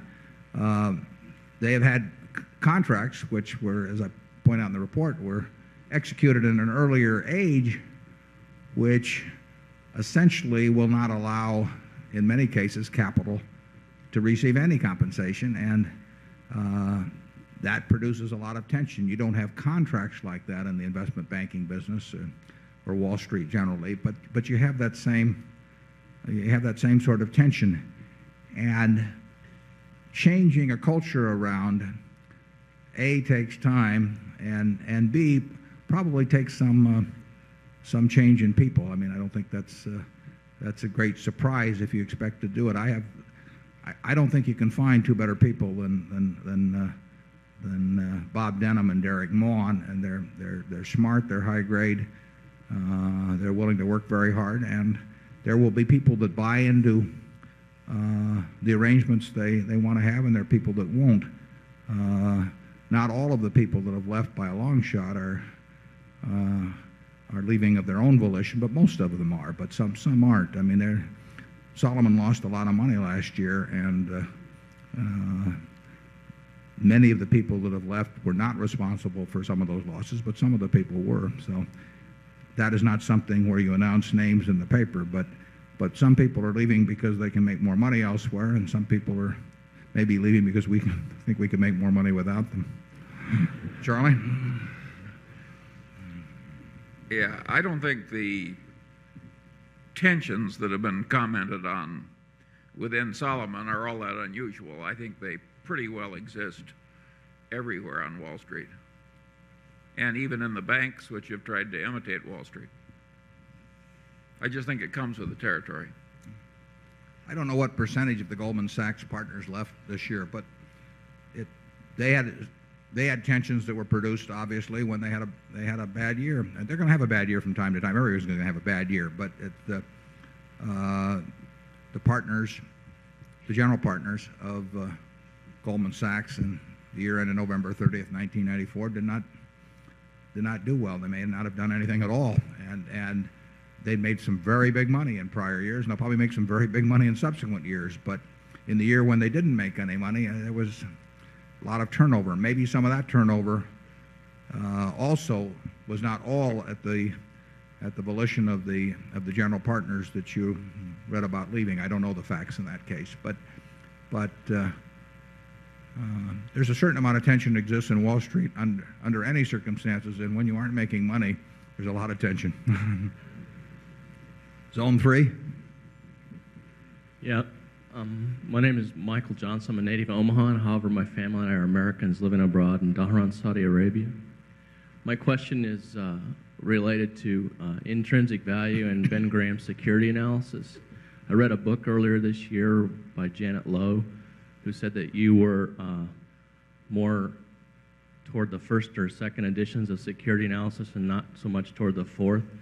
Yet the fourth edition seemed to um, move more toward growth and value being kind of joined at the hip, like you've said in your last few annual reports. And so, if I'm a person that's always studying security analysis like I do, I think I spend more time at that. Do you uh, think I'm I need to get those first editions, or is the fourth edition kind of more what you've moved toward with your comments such as value and growth are joined at the hip?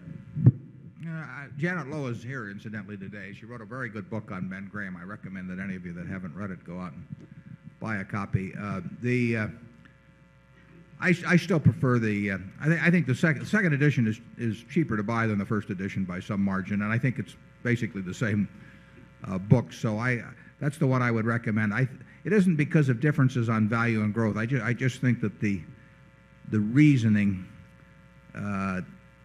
is better and more consistent throughout the second edition, which is really the last one that, that, that Ben was the 100% along with Dave Dodd helping him in various ways was, was responsible for writing. And I, so I think that the book has gotten away to quite an extent from both Graham's thinking and from his way of expressing himself. So I, re, I but I, I, have no uh, quarrel with anybody who wants to read later editions at all. I, I do think probably the second edition, if you, if, if you're a real student of security analysis and you read and understand uh, that, you'll, you'll, you'll, you should do all right. Uh, in terms of a lot of the mistakes that were made in terms of junk bonds and accounting and all of that sort of thing uh, were covered in 1934 in that first edition and subsequently in 1940 in the second edition.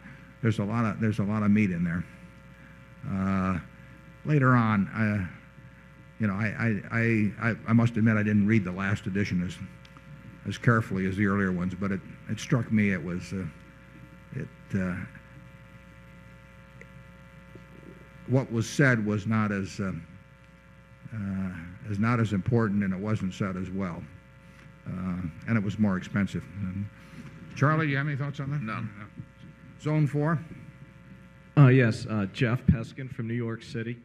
And uh, I was I have a question out of the annual report where you say that um, obviously going forward, uh, due to the size of Berkshire, the returns going forward probably won't match the returns of the past.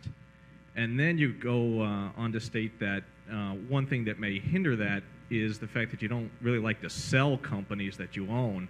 And I would just like to uh, know what the reasoning is in that if you've got a company or investment that you don't think is going to do as well as where you could put the money going forward, what really the reasoning is for, for holding on uh, and not redeploying the money elsewhere. Uh, I'll just correct you just slightly on that. A, I didn't say we'd probably do worse than the past. I said we will do worse than the past. I mean, there's no way we could match percentage numbers of the past that, uh, uh, you know, we would, in a period that would not take that long, we would, assuming we paid out nothing, we would, uh, uh, we would gobble up the whole GDP, which is something we may think about occasionally, but we don't really expect to accomplish.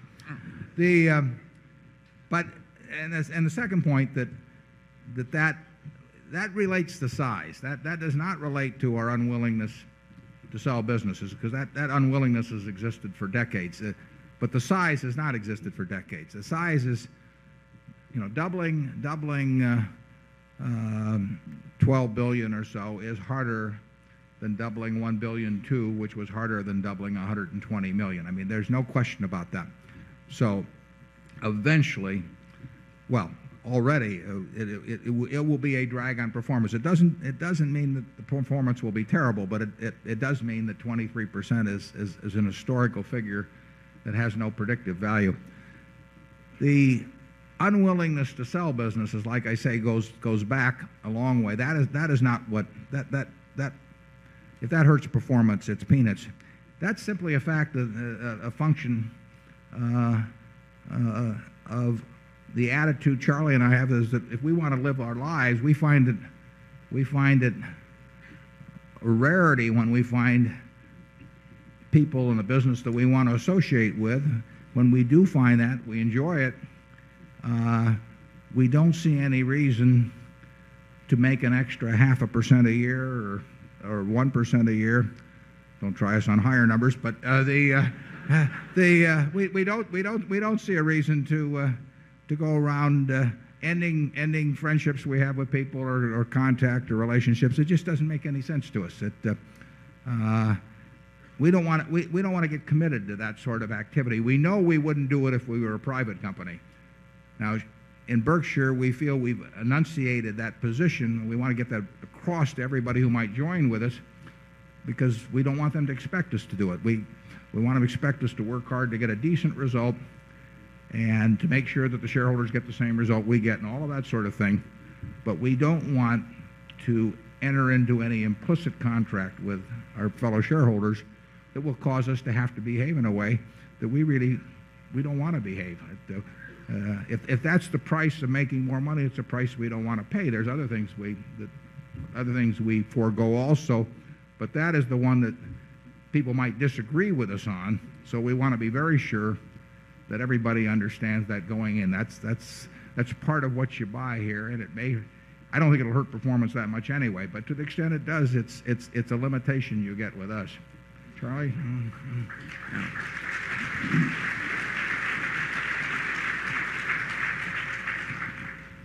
I don't think there's any way to measure it exactly, but my guess is that if you if you could appraise something you might call the character of the people that are running the operating businesses in Berkshire, many of whom helped create the businesses in the first places and are leading citizens in their community like the Helzbergs.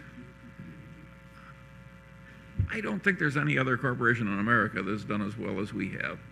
If you measure the human quality of the people who are in it. Now you can say we've collected high grade people because we sure as hell couldn't create them. But uh, one way or another, this is a remarkable system. And why would we tinker with it? if you want to if you want to attract high grade people, you probably ought to try and behave pretty well yourself. Um, I mean, it's just it's just it, it's a, it, it, besides it, it, it wouldn't be any fun doing the other. I mean, it's a, it, uh, uh, I was in that position a little bit when I ran the partnership back in the 60s, and I really, you know, people were coming into partnership with me, and, and my job was to turn out the best return that we could. And I found that if I got into a business, that that presented certain alternatives that I didn't like. So Ber- Berkshire's a much more satisfactory in that respect. Zone five. John Rankin, Fort Collins, Colorado. Thanks for having us. Uh, in the book, Warren Buffett Way, the author describes the capital growth model that you've used to evaluate intrinsic value in common stock purchases. My question is do you also still use the formula Ben Graham described in The Intelligent Investor that uses evaluating anticipated growth but also book value? It seems to me that fair value is always a bit higher when using Mr. Graham's formula than the stream of cash discounted back to present value that is in Warren Buffett way and also that you've alluded to in annual reports.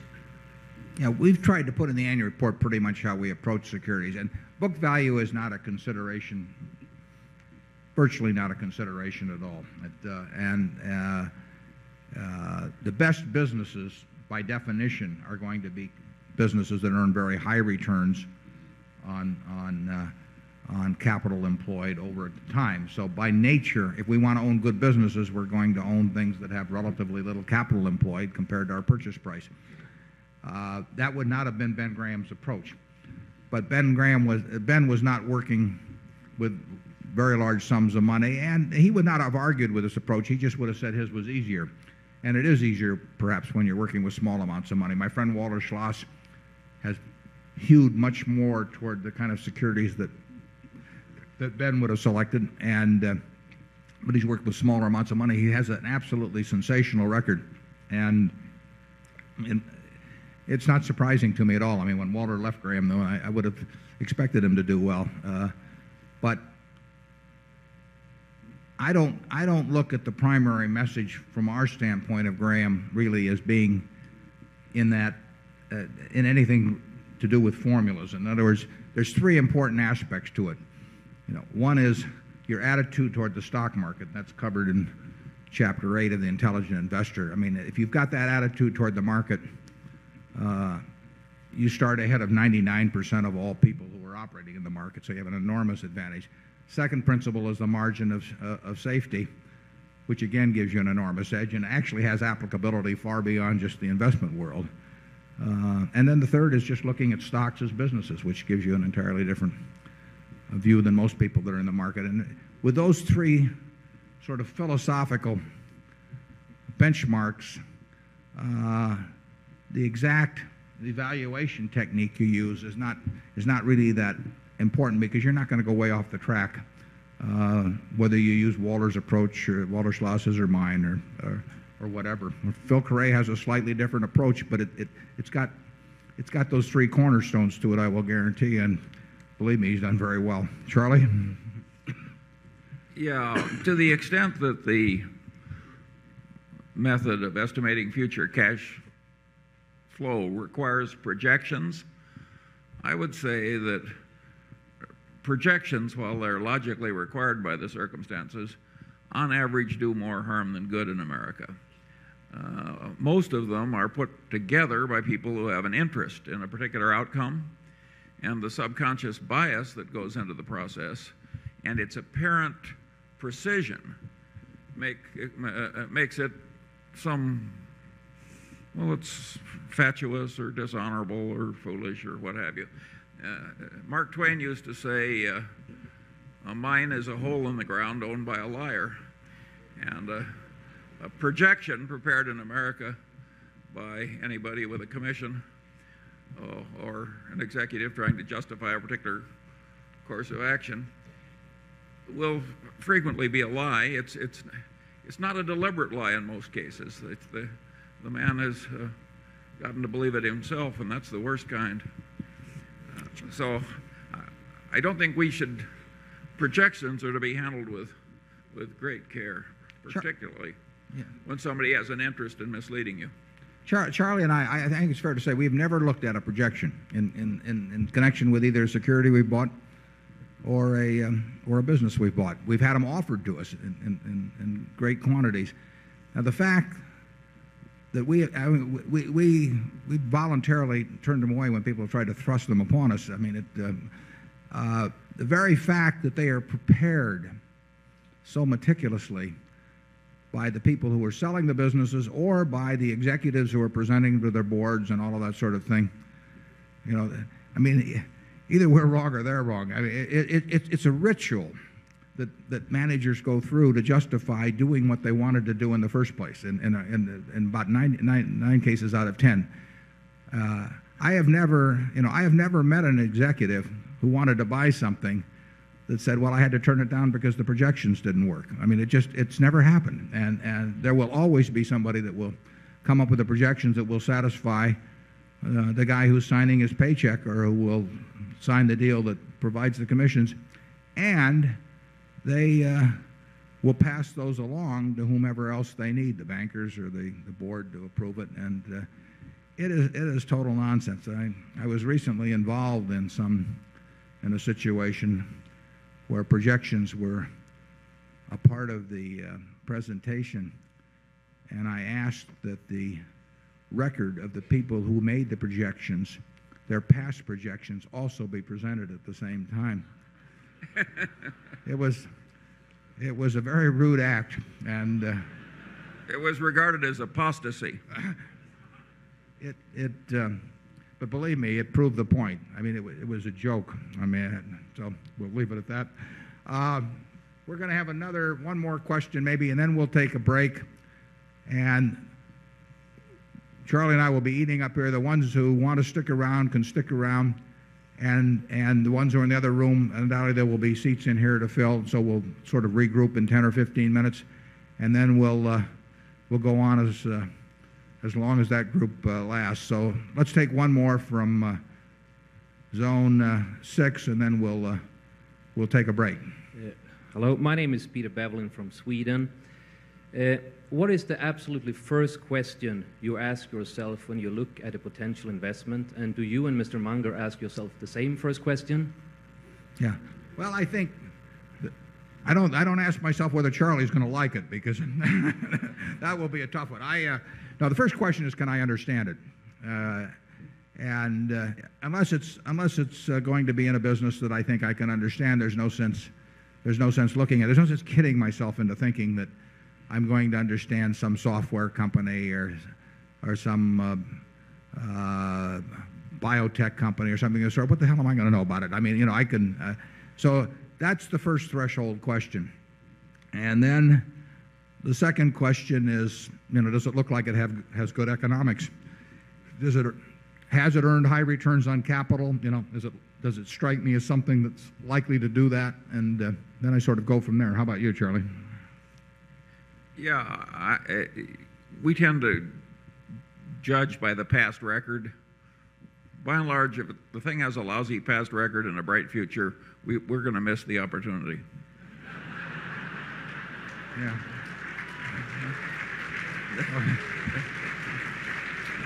We'll take a break now and we'll reconvene in 10 or 15 minutes. Those of you who are in the other room want to come in and, and uh, we'll stick around then. If you want to get some food and come back later, you're welcome to do that too. Thanks.